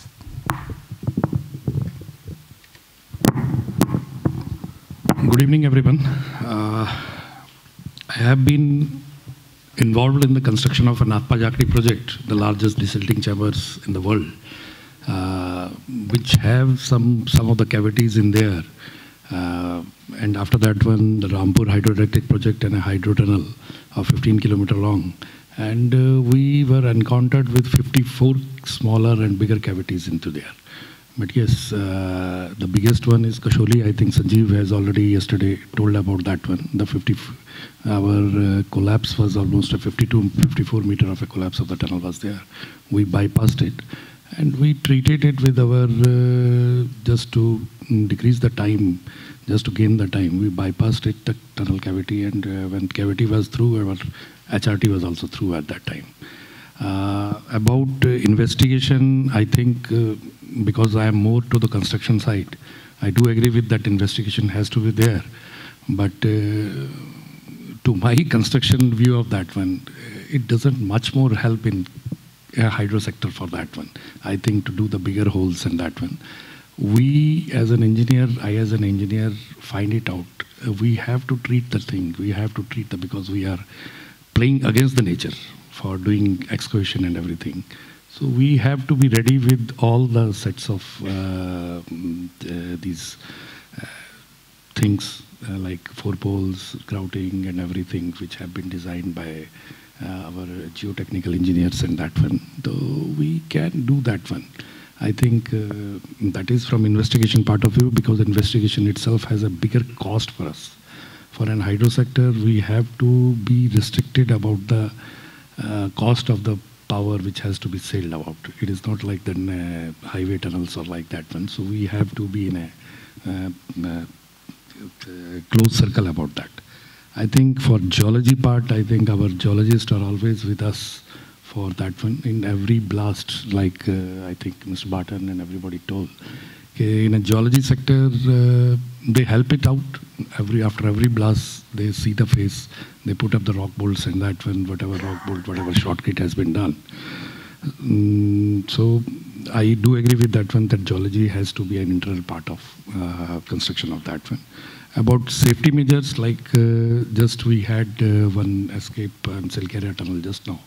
After that one, there was a safety, what has to be done for that one. Uh, in my view, I think that uh, there was a one suggestion in that one to we have to put a pipe all through long the tunnels to if their cavities are occur. We do, uh, we have already done that part in our uh, Arun 3 project, but it was only on the parts to just cut off the cost. We have already done in the past where movements of the rocks are there. Cavities, there are the nature where cavities can be formed. We have already done for uh, almost 20 to 29 meter. We have put in the, the steel pipe within concrete on that one so that that safety can be done up. I think though uh, what uh, we suggest, the panel is suggesting about uh, to put up a parallel tunnel in that one. So in a hydro sector, it is a little difficult job for doing it up for that one to go for a parallel tunnel and then do all those things. But yes, safety measures with the movement, movement noting by paper targets or extensometers or that one, that has to be there for that. And uh, for, I think in Arun 3 also, we had, uh, uh, we had just recently into two months before, we had our uh, diversion tunnel uh, cave in after two years of running of that one. So uh, because of the slope on that one, but uh, we treated it, we retreated it, and we are ready to redivert the river again for that one. I think uh, that's the way. I think this is all from me. Thank you. Uh, thank you, Mr. Dhiman. Thank you very much. And may I request uh, Professor Galler to share his views? Yep, thank you. Uh, regarding the investigation, uh, everything starts, I think, with the contractual form which you choose. Um, we are normally choosing the model uh, design, bid, build, which means design is always done on the, on the client side. Then we tender it, and then uh, we do the detailed design also on the client side. Might maybe be a little bit different from uh, uh, how you're doing it, I don't know. Uh, but this mainly drives uh, the risk because we have a clear, uh, clear let's say, agreement in the standard that all the risk regarding the geology is on the client side. So the construction company is responsible for the risk on the means and methods. So if they choose, for example, a wrong machine, uh, a wrong tunnel boring machine or a wrong other machine, then it's on their side. And if the machine is not running, is the risk, everything is on their side. And if they have um, uh, miners who are not well educated, it's on their side, it's not the client side. But everything what is on the geology, it's on the client side. And this, of course, brings the client in the situation that he will do the best what he can do. Even if we do a flexible contract, as I tried to explain, the client will try to do the best prognosis ever, uh, and so he does. And we saw today some charts how many meters of, um, of drill cores do we do before we start a project. And this was, uh, uh, was fitting uh, also good how we did it.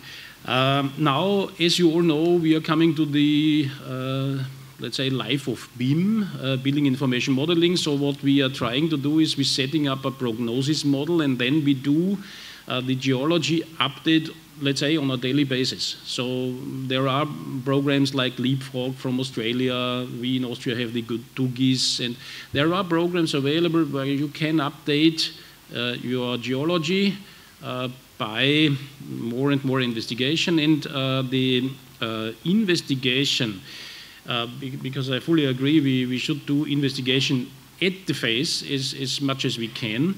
Uh, for these, for example, for tunnel boring machines, we developed a, a, face monitoring system. So every time when we stop the machine, we have uh, several cameras. We tried it just in at the Brenner Base tunnel now. Uh, we tried it at Koralm already, so that we make a face and fully automated face mapping uh, without, let's say, a subjective influence of any geologist. So we make films and photos which you can watch, and then it's very clear what it is. And same we do, of course, in, in, in NATM uh, drives.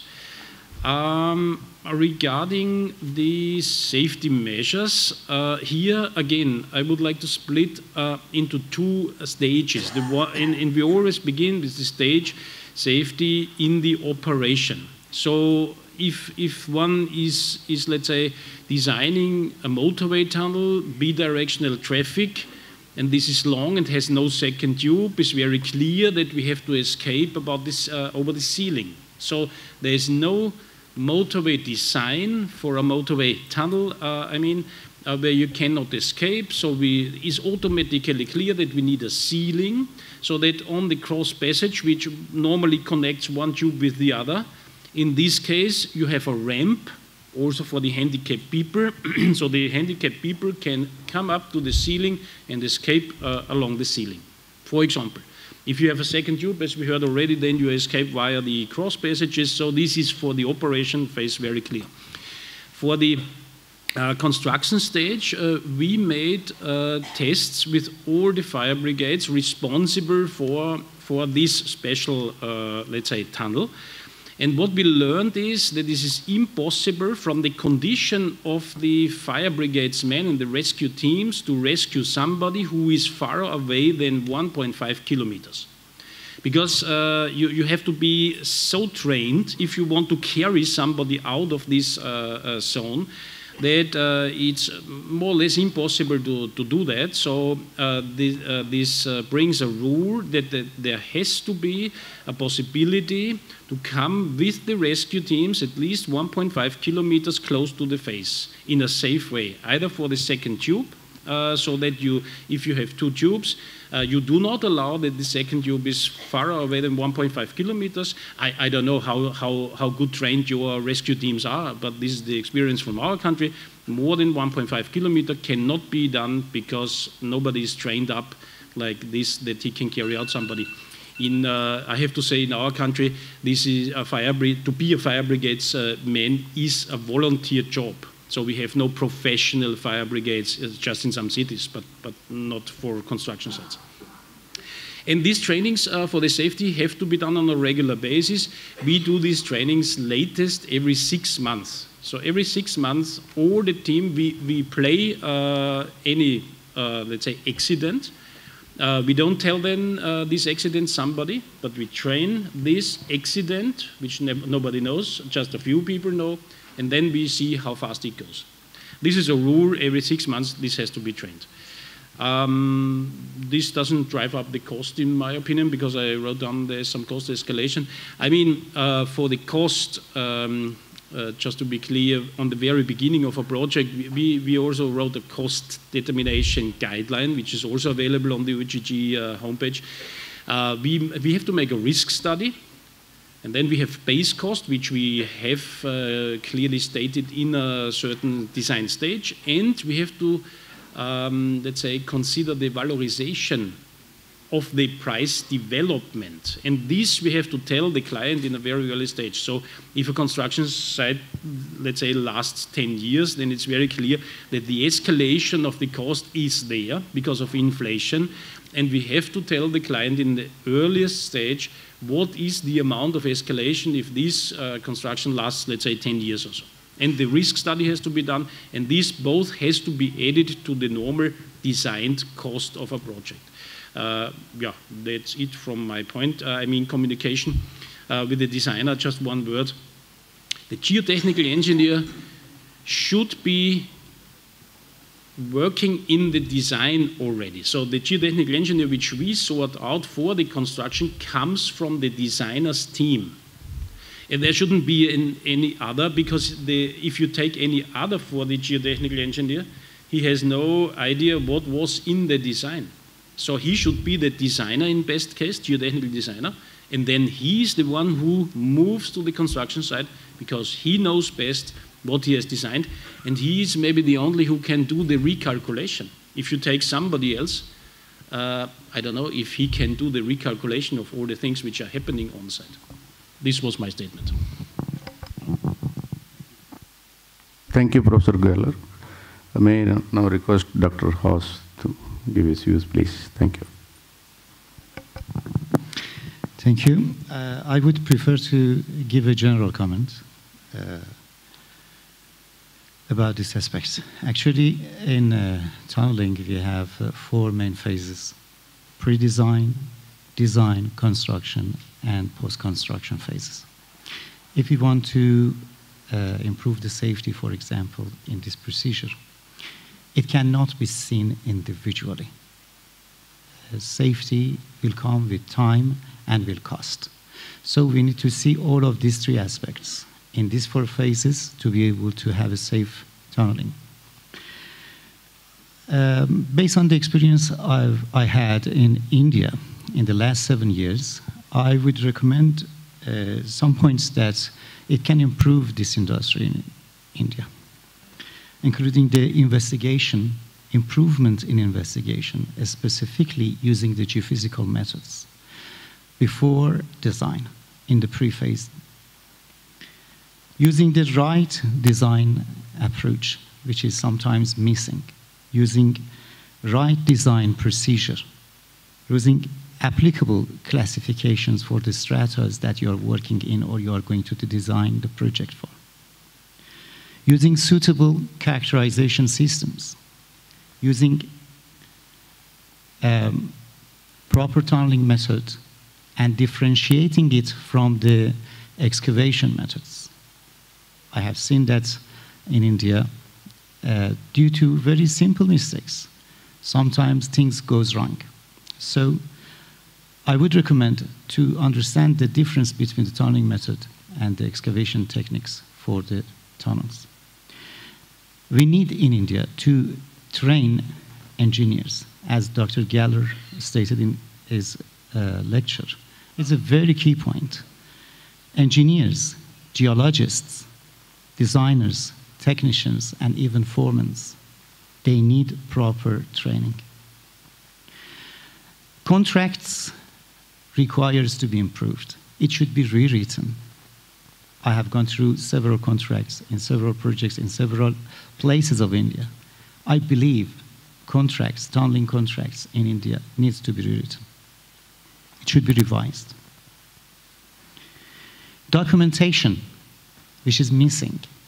Documentation of the lessons we are getting from projects. A lot of money is spent to construct the projects. A lot of failures, collapses happened and rectified. Where is the documentation for? And what is the lesson obtained?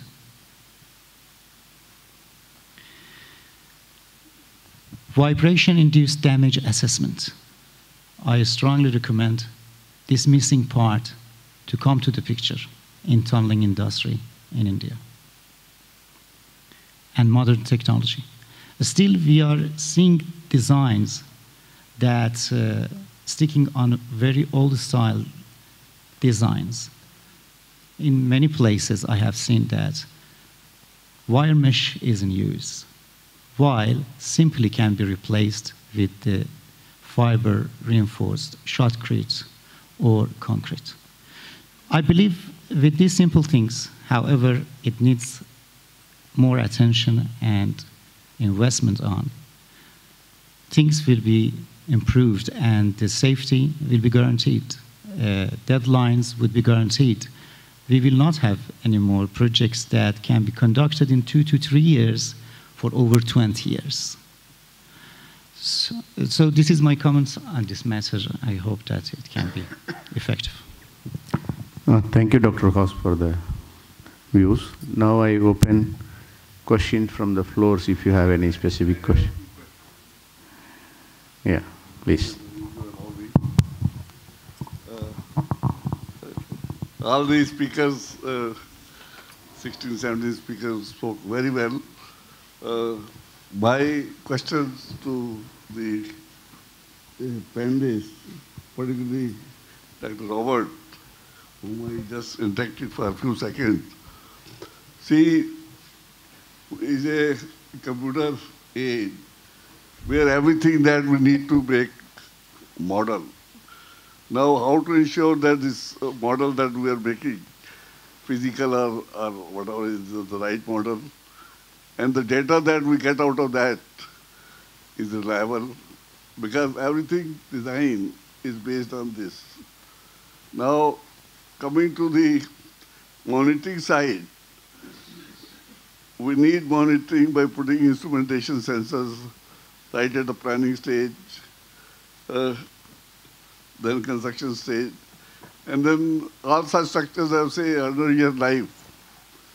Now, the data that we have been collect, we are collecting through putting sensors, then for 100 years, what is the mechanism of to see that the data that we have collected are being collected uh, during use is usable, which can ensure our proper health monitoring. So this is my question to the panelists. Um, if I may uh, start with the answer. Uh, first of all, the monitoring, uh, shotcrete utilization, uh, deformation, and so is majorly used for the construction. Is majorly used for the construction because you have to compare your design results with the one which you have really on site to realize also, okay, there's a geotechnical change from the prognosis to the realization. And we need most of these results during construction till the finalization before we bring in the inner lining, if we do a double shell lining. Um, for the life cycle, for the 100 years, we have a complete other system for watching what is going on here. But this is majorly, uh, let's say, uh, based on glass fiber lines in the inner lining. This is, um, for the moment, the state of the art what we are doing. For example, at the Brenner base, uh, we are building uh, in glass fibers in the segmental lining elements uh, to, to be able to decide do we really need an inner lining, yes or no. And these glass fibers, we for the moment expect have a very high lifetime. Nobody can say if they will uh, uh, take uh, the life for 100 years. then we have to change anything when it's when it's over.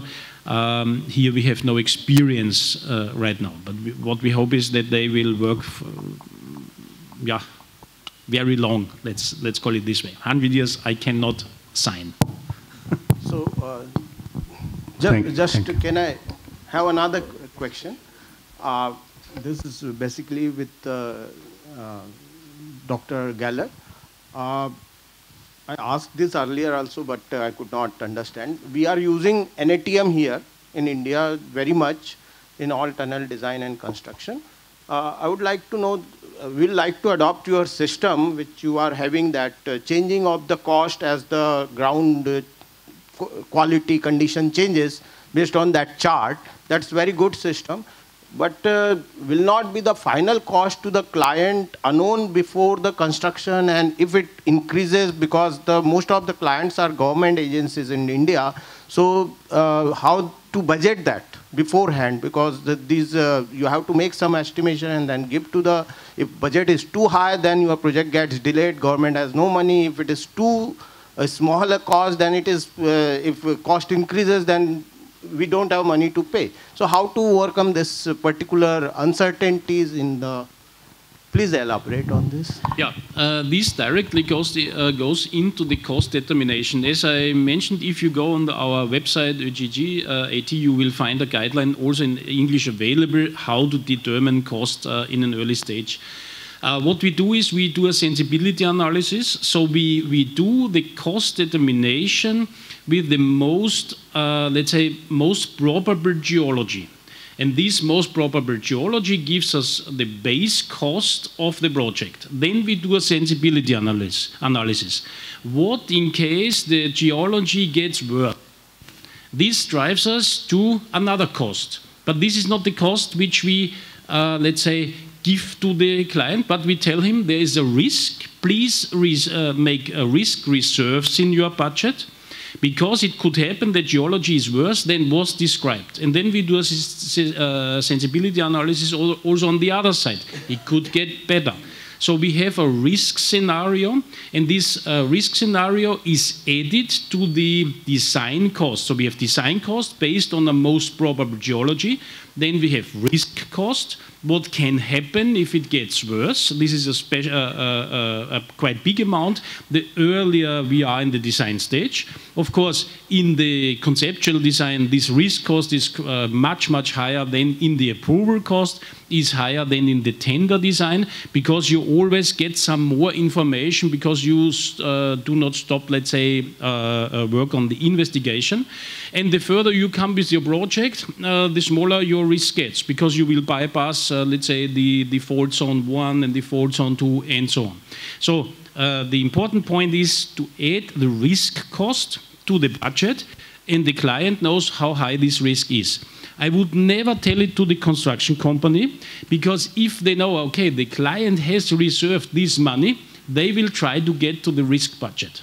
This is our experience. If we open it, okay, we have reserved risk budget for this, the construction company immediately starts to look for the risk budget plus the normal budget.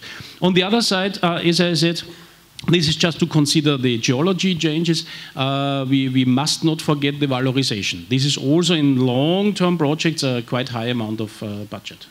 Was that clear for you? Thank you.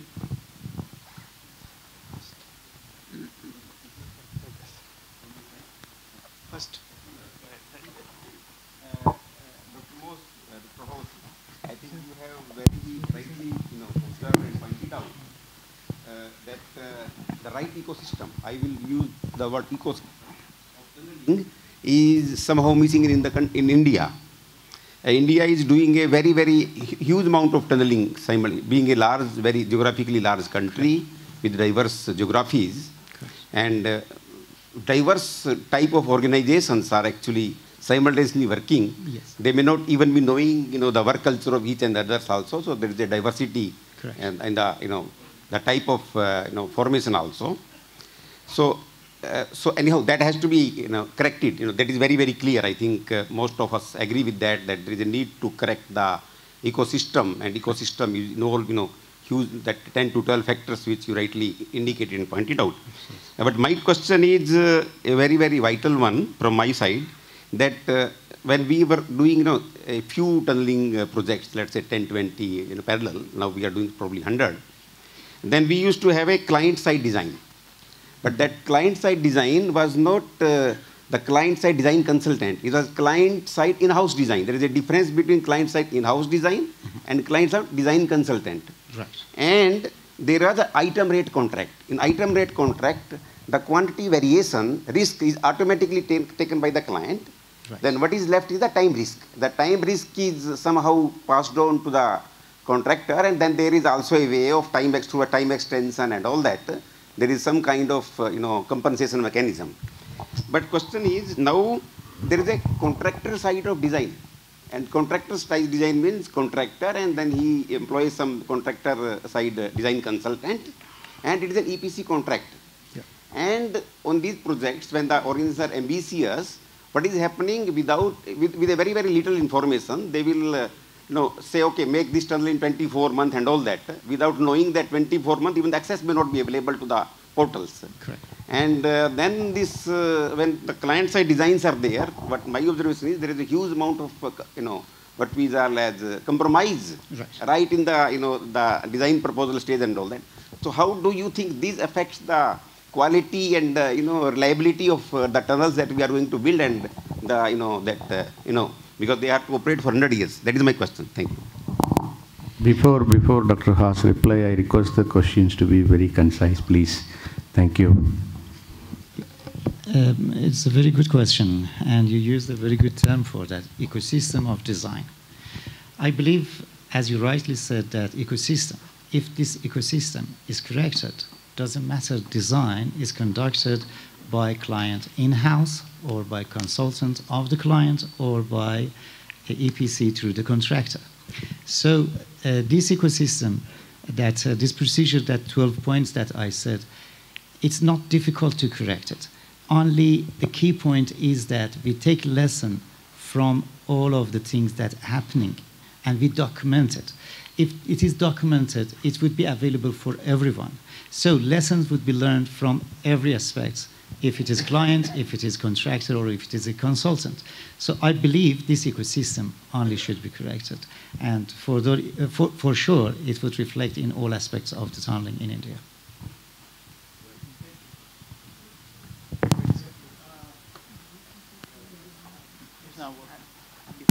Okay, okay. Uh, one word that has barely been mentioned in this symposium is the word reliability. We still, in the tunneling industry, are working mainly on factor of safety design, which in the field of tunneling is totally inadequate. We need to move to a reliability-based design. So my question is, how do we promote a reliability-based design in our industry with the designer, with the contractor, and with the owner, and show the benefit of a reliability-based design? Thank you. Thank you.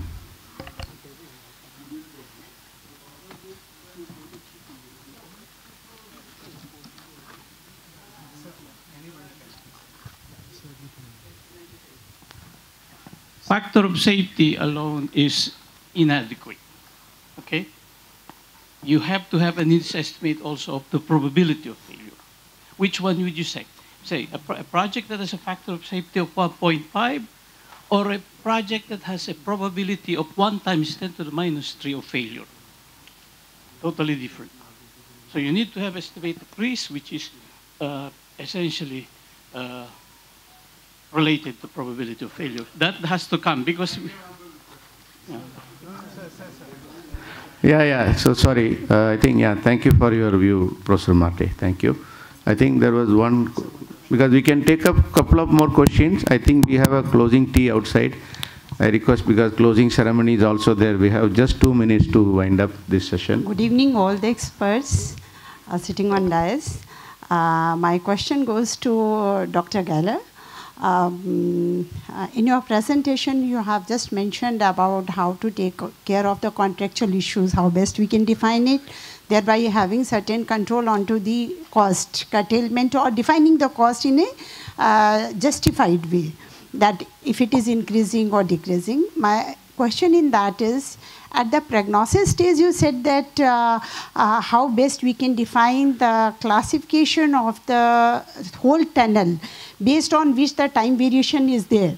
Whether it will be finished beforehand or it will be depending upon when we progress along the tunnel excavation, uh, actual execution of the work at site, we'll be coming to know that. But how to go about uh, define that prognosis because, uh, because uh, in uh, during Dr. Barton in his presentation has clearly brought out it cannot be one single borehole that along the tunnel we are going about and then we are defining the things. And right now, uh, Dr. Haas also talked about, yeah, uh, that uh, geophysical investigations are required to be there. In previous day presentation, one of our presenter has mentioned that uh, I tell you this is very important and everybody is going to appreciate. Let me complete. Um, that uh, this uh, uh, there are certain sites we cannot have proper geological mapping because outcrop is not visible there or the, that the sites are inaccessible. Uh, then how to go about that prognosis also because a lot of variations are there. Again, we enter into the contextual issues. So is there, we can talk about physical methods. In some cases, they are also very difficult in Himalayan region where we are having the remotely at 3000 meter location, 2800, 500 meter location, we are having the, that too we are having the tunnels over there at such uh, elevations. Then how to define to certain extent what all surveys we can talk about. If there is anything you can bring out to us, that will be really helpful to all of us sitting over here. Thank you so much. Yeah, uh, thanks for the question. Uh, I mean, uh, I think I can give an answer to you and try to give an answer also uh, to your question because this is more or less the same. Uh, uh, the, the point is that in an approval design, which we get then approved by the ministry, we have to bring up a design concept. I call it concept because we are working on a prognosis as good as we can. Uh, and, and you have some things available, but uh, always think that these are just needles, uh, what you did with the boreholes before, and you brought some geophysics in between your needles. And geophysics is then setting up uh, on the information on, on the borehole information which you had there. Anyhow, based on this information, you do a design best as you can. This is the job of the designer. Best as he can do a design. But of course, we know that this might not be the design which then comes into operation during construction because there are some, let's say, surprises when you uh, go through the tunnel. Now, um, because you were talking about a safety factor, my answer is there is uh, it is it is impossible to talk about a safety factor. You can only have a base a geology which you assume or got from samples uh, calculated with uh, uh, some, some of the formulations which we heard based on UDEC, uh, 3DEC, FLAC, whatever. You do the best what you can. You cannot say uh, this is a reliable design. You did the best what you can. And now you ask the construction company, okay, what is the velocity with this design? You have, let's say, 10 different design drawings for the different sections of your tunnel, maybe in some, in some cases more. And for every design drawing, you ask the construction company, what is the velocity? Tell me what is the velocity. And he then promises, okay, he can do, if this design comes to operation, comes to construction, he can do one meter a day, three meters a day, whatever he can. And he tells you this velocity for every single design drawing which you hand over. During construction, you have to decide based on monitoring, and then you see uh, what is the safety factor, because you see a utilization degree of your shotcrete is 20%, for example, then you automatically can count this is really my safety factor. You measure the forces on the bolts, and then you can say, okay, I did too many bolts or too less bolts, and then you decide how many bolts you do, how thick your shotcrete is, and then you make the same drawing than you did in the design, but for the construction. We call it a, a construction uh, uh, plan, which is signed by the construction company and signed by the engineer, in our case by the client. This is a, a, major topic of NATM, by the way, that both agree this is now a safe construction based on the monitoring results and, um, and uh, uh, based on the geology which you meet. And this automatically can you now you can calculate the velocity for this uh, design which you brought to construction because you have your uh, raster, you have your matrix where you had already 10 different velocities in and now you just can interpolate, okay, we really did this, this amount of bolts, this amount of shotcrete, you can automatically interpolate between the existing uh, promises from the tender design and say, okay, this is now the velocity you promised during the contract adopted, of course, to the real geological conditions. This is how we do it. Is thank you, thank you, Professor Galler. Thank you. Uh, Maybe one, one last question, we'll take it Good up. Evening. Please don't mind Excuse because me. we have to close and we have time. I think after we close also, we have a small tea break. I think I request all the delegates to just discuss over there. I think Dr. Haas want to say something. I'll take up the last question after that. Thank you.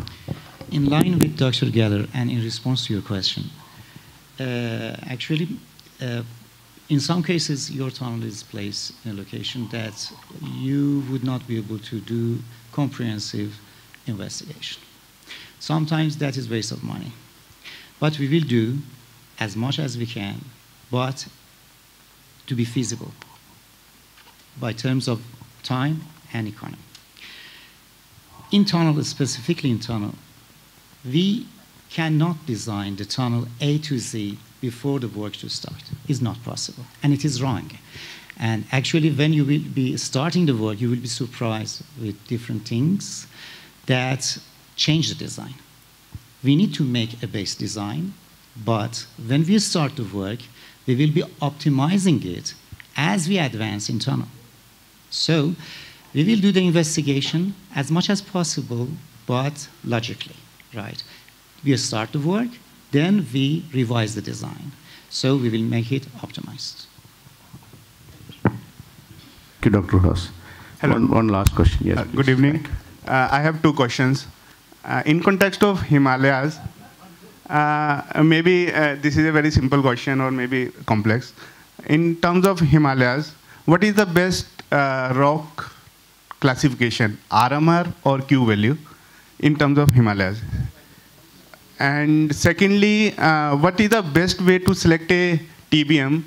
Uh, we do a lot of investigation, then we select either we should go for double shield or gripper, or we should straight away take the past experience and we uh, select a machine, or finally, uh, either uh, we should go fully equipped machine with crossover, uh, the costly one.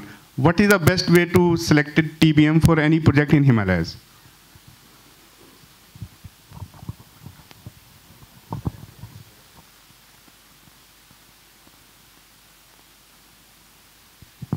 Um, regarding the, um, uh, which uh, RMR, Q, look, uh, in our industry, we understand both of them, and, all, and we try to understand all of them. All of them give benefit. They should all be considered in uh, certain weights, depending on what what you're looking for. If you got a really hard rock and uh, consistent rock, Q helps you a lot in determine cutter costs, advance rates, RMR is always important for ground support. So all of these have to be considered. The key on what type of machine and what features, uh, I'm a great advocate of uh, over-designing the machine and um, having it available to put uh, act as, let's say, an EPB, earth pressure machine, and the same machine without too much time and without too much extra cost be able to get those high advance rates because you need, if you want to average two, uh, 400 meters a month, you need a lot of 800 meter months. That's the only way you can average 400 meters. So you got to have a lot of horsepower and uh, just power in the machine. If you want good advance rates, you need a whole lot of power. That's just a fact. And uh, that's pretty common sense. If you want to uh, win the race in a race uh, track, you got to have the fastest, most powerful machine. And uh, that's, in simple terms, the best answer I can give you. Maybe Thank you. Short, Thank you, Mr. add on uh, before you, uh, you give the answer. I just recommend, of course, Q, RMR, try all of them, but don't forget, try also the Austrian concept. This is uh, not taking. try it. Well said from an Austrian. Yeah, concerning Q and RMR, I mean, if we're talking TBM, there is something called QTBM, and there's also something called RME. And RME, I believe, it only makes a prediction for like 24-hour advance rate, which to me is totally inadequate. Penetration rate is also inadequate to tell you the likely number of years a, a tunnel of 10 kilometer, 15 kilometer will take. So my preference, of course, would be Q combined with QTBM, yeah? Especially for making these advance rates predictions with the deceleration with time after the learning curve. Things like that that most people are optimistically forgetting. Thank you. Thank you, everybody.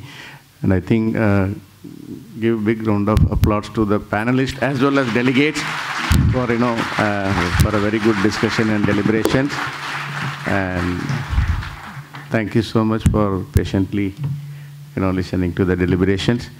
Now I think please stay back. We will quickly uh, reassemble for the closing ceremony, for a short closing ceremony. And please stay back. Yeah. Thank you.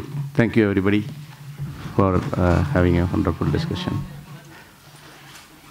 So we have come to an uh, end of the two days deliberation. And as I have mentioned, we had uh, 16 originally planned lectures uh, delivered by 15 experts. And I think we had a, a special lecture added by one of our pioneering rock engineer, Professor T. Ramamurthy sir. We were really honored by his presence all two days and then, so on total we had actually 16 lectures covered over two days and by all uh, stalwarts and eminent speakers across the world. I mean, I'm, I'm really overwhelmed and enjoyed. I'm sure all of us have enjoyed. Let us give a big round of applause to all the speakers who had made this uh, symposium a really grand success. And coming to delegates, we have delegates coming from 64 organi- I mean, uh, different organizations. And it's really great that you all have taken initiative and then to join us. We have 20 PSUs and then 12 public organizations and 32 private organizations. It's really a mixture of, you know, the stakeholders and the industry. And a big round of applause to them, you know, for taking part on the last two days, you know, sacrificing the weekend and really, you know, making this event a great success. On total, we have about 257 delegates, you know, attendees, and again representing different organizations. This includes, of course, about 25 student volunteers who have been working as, I always believe these student volunteers in an academic institute are the pillars for, you know, coordination of such events actually.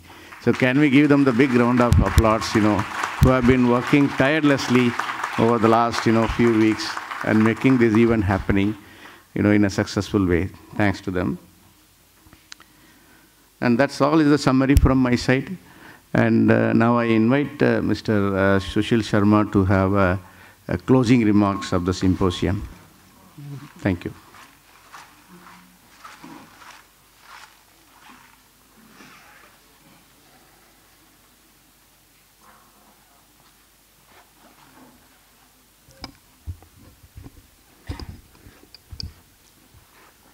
Distinguished guests, esteemed colleagues, and fellow enthusiasts of tunneling technology, as we gather here today to conclude this remarkable symposium on tunneling, I am filled with a profound sense of accomplishment and gratitude. Over the past two days, we have witnessed a vibrant exchange of ideas, a deep exploration of cutting edge advancements, and a collective reaffirmation and of the transformative power of tunneling. The presence of experts in tunneling has been a source of great inspiration for all of us. These legends in the field of tun- tunneling have provided valuable insights on the important aspects of tunneling, which we in hydropower sector can utilize in our projects and also in other sectors. The art of tunneling as we know it has evolved over millions of years, transcending geographical boundaries and uniting civilizations. From the rudimentary tunneling works of ancient Rome to the awe-inspiring metro networks of modern cities and various underground works in hydro stations, tunneling has consistently pushed the boundaries of human ingenuity and reshaped our landscapes.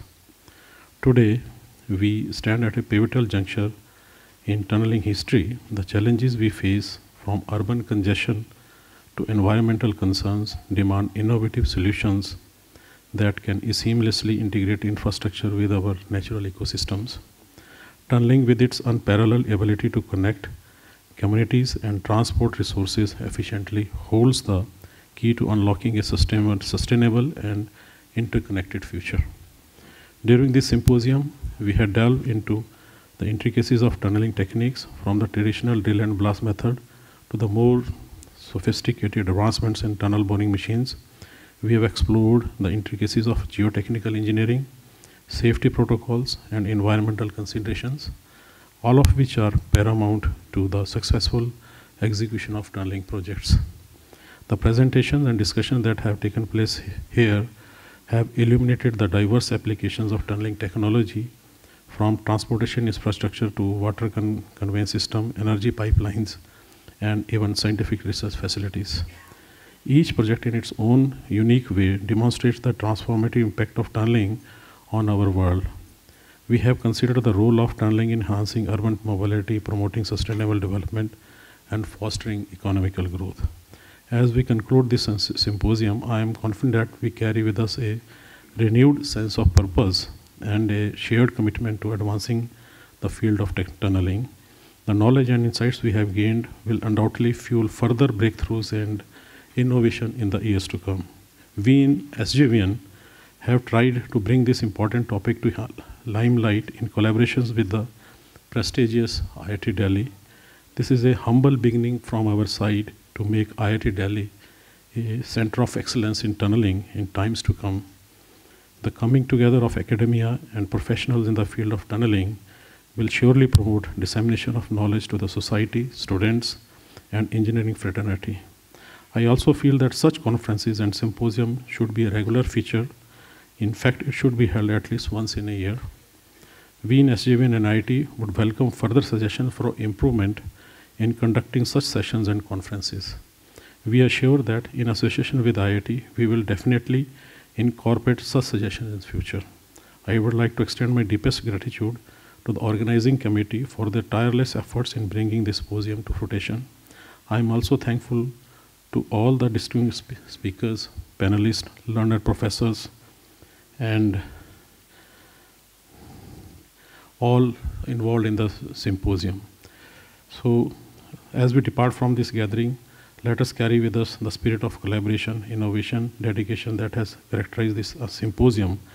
Let us continue to push the boundaries of tunneling technology, ensuring that it remains a driving force for progress and sustainable sustainability in our ever-changing world for, a, for the cause of common man.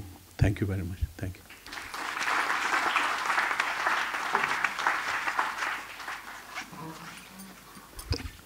Uh, thank you, Sri Sharma ji, for delivering the closing remarks. Uh, may I now invite uh, Professor A.K. Nema, Head Civil Engineering Department, IIT Delhi, to deliver his address. Thanks.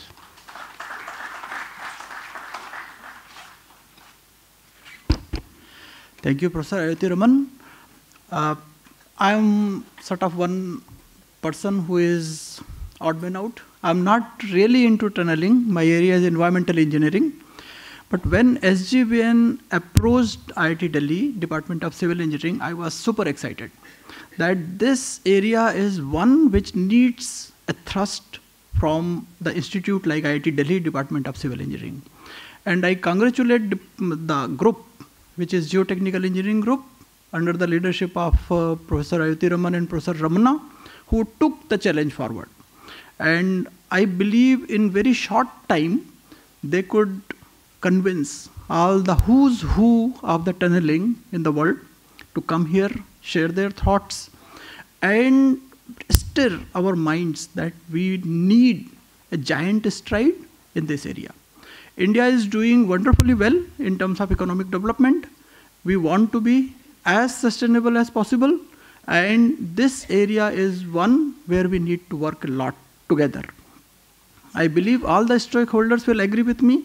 And uh, just now, my colleague said that they are really happy to push the idea of having center of excellence in this area forward. I would like to say that we must have, beyond that, an institute which focuses on tunneling technology, state of the art. Across the world, we should contribute and try to take this idea forward. Again, I must congratulate SJVN and IT Delhi Department of Civil Engineering for making this step forward and making this happen. I'm sure all of you must have enjoyed these two days. I could completely understand everybody must be feeling why two days? This was too short a time. We were not allowed to ask more and more and more questions. But this is how things are. Always there is going to be time constraint in anything you do including tunneling. You saw our 41 people stuck and the time was of essence. So time is always going to be like this. We have to work in this constant. Thank you very much for being here, sharing your thoughts, and I'm sure we will take it forward further. Thank you so much.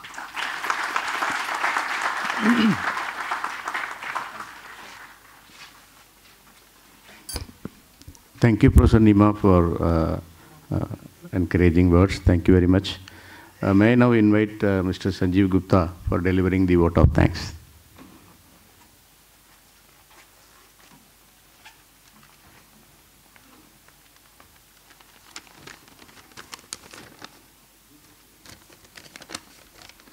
Um, before proposing the vote of thanks, I just want to add two, two lines. Uh, this event uh, was conceived uh, to be, uh, we started uh, conceiving this event uh, in June, June 2023. it took six months to reach here. two, two to three times dates were postponed. We had a lot of persuasion with the IIT Delhi for selection of the, this experts to be invited for this. I think in tunneling, the most stalwarts, most stalwarts are here today and uh, it was also proposed that we can have two sessions parallel, but it was decided uh, that we should conduct one session because uh, in two sessions people go here and there. I think practically no, no one is, mostly no one is available. So this was decided. Thank you very much.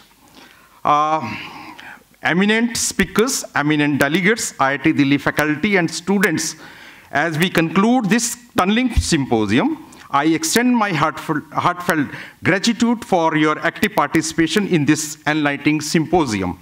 The contributions in the symposium have enriched our understanding of tunneling, uh, tunnel technology, and your dedication to advancement in this field are highly appreciated. Let's carry forward the knowledge gained today to build more safer and innovative underground infrastructure in future it was incredibly encouraging and motivating to see high level of attendance and involvement during the event. I think this, this is very encouraging uh, for everybody. Firstly, I big thanks to Shri Krishnapal Gujjarji, Honorable Minister of State power of, for Power and Heavy Industries, for sparing his valuable time to grace the occasion and encouraging us. A special th thanks to Shri Nandlal Sharma ji, CMD SJVN, who conceived this idea, guided us throughout the complete process, and ensured the success of symposium. Heartfelt uh, thanks to Muhammad Afzalji, Joint Secretary MOP, Government of India, for being here. A big thanks to Shri Ramannaji, Shri Ayothiramanji, and their dedicated IIT Delhi team who worked tirelessly throughout, right from ensuring availability of such renowned speakers as well as ensuring other logistics. A special thanks also to the caterers of this event. I also want uh, uh, to express my gratitude to SJVNites also, who helped organizing the symposiums. They worked so hard to make it success. Thank you all for in, invaluable presence and engagement. safe travel, and we look forward for future collaborations. Thank you very much. Thank you.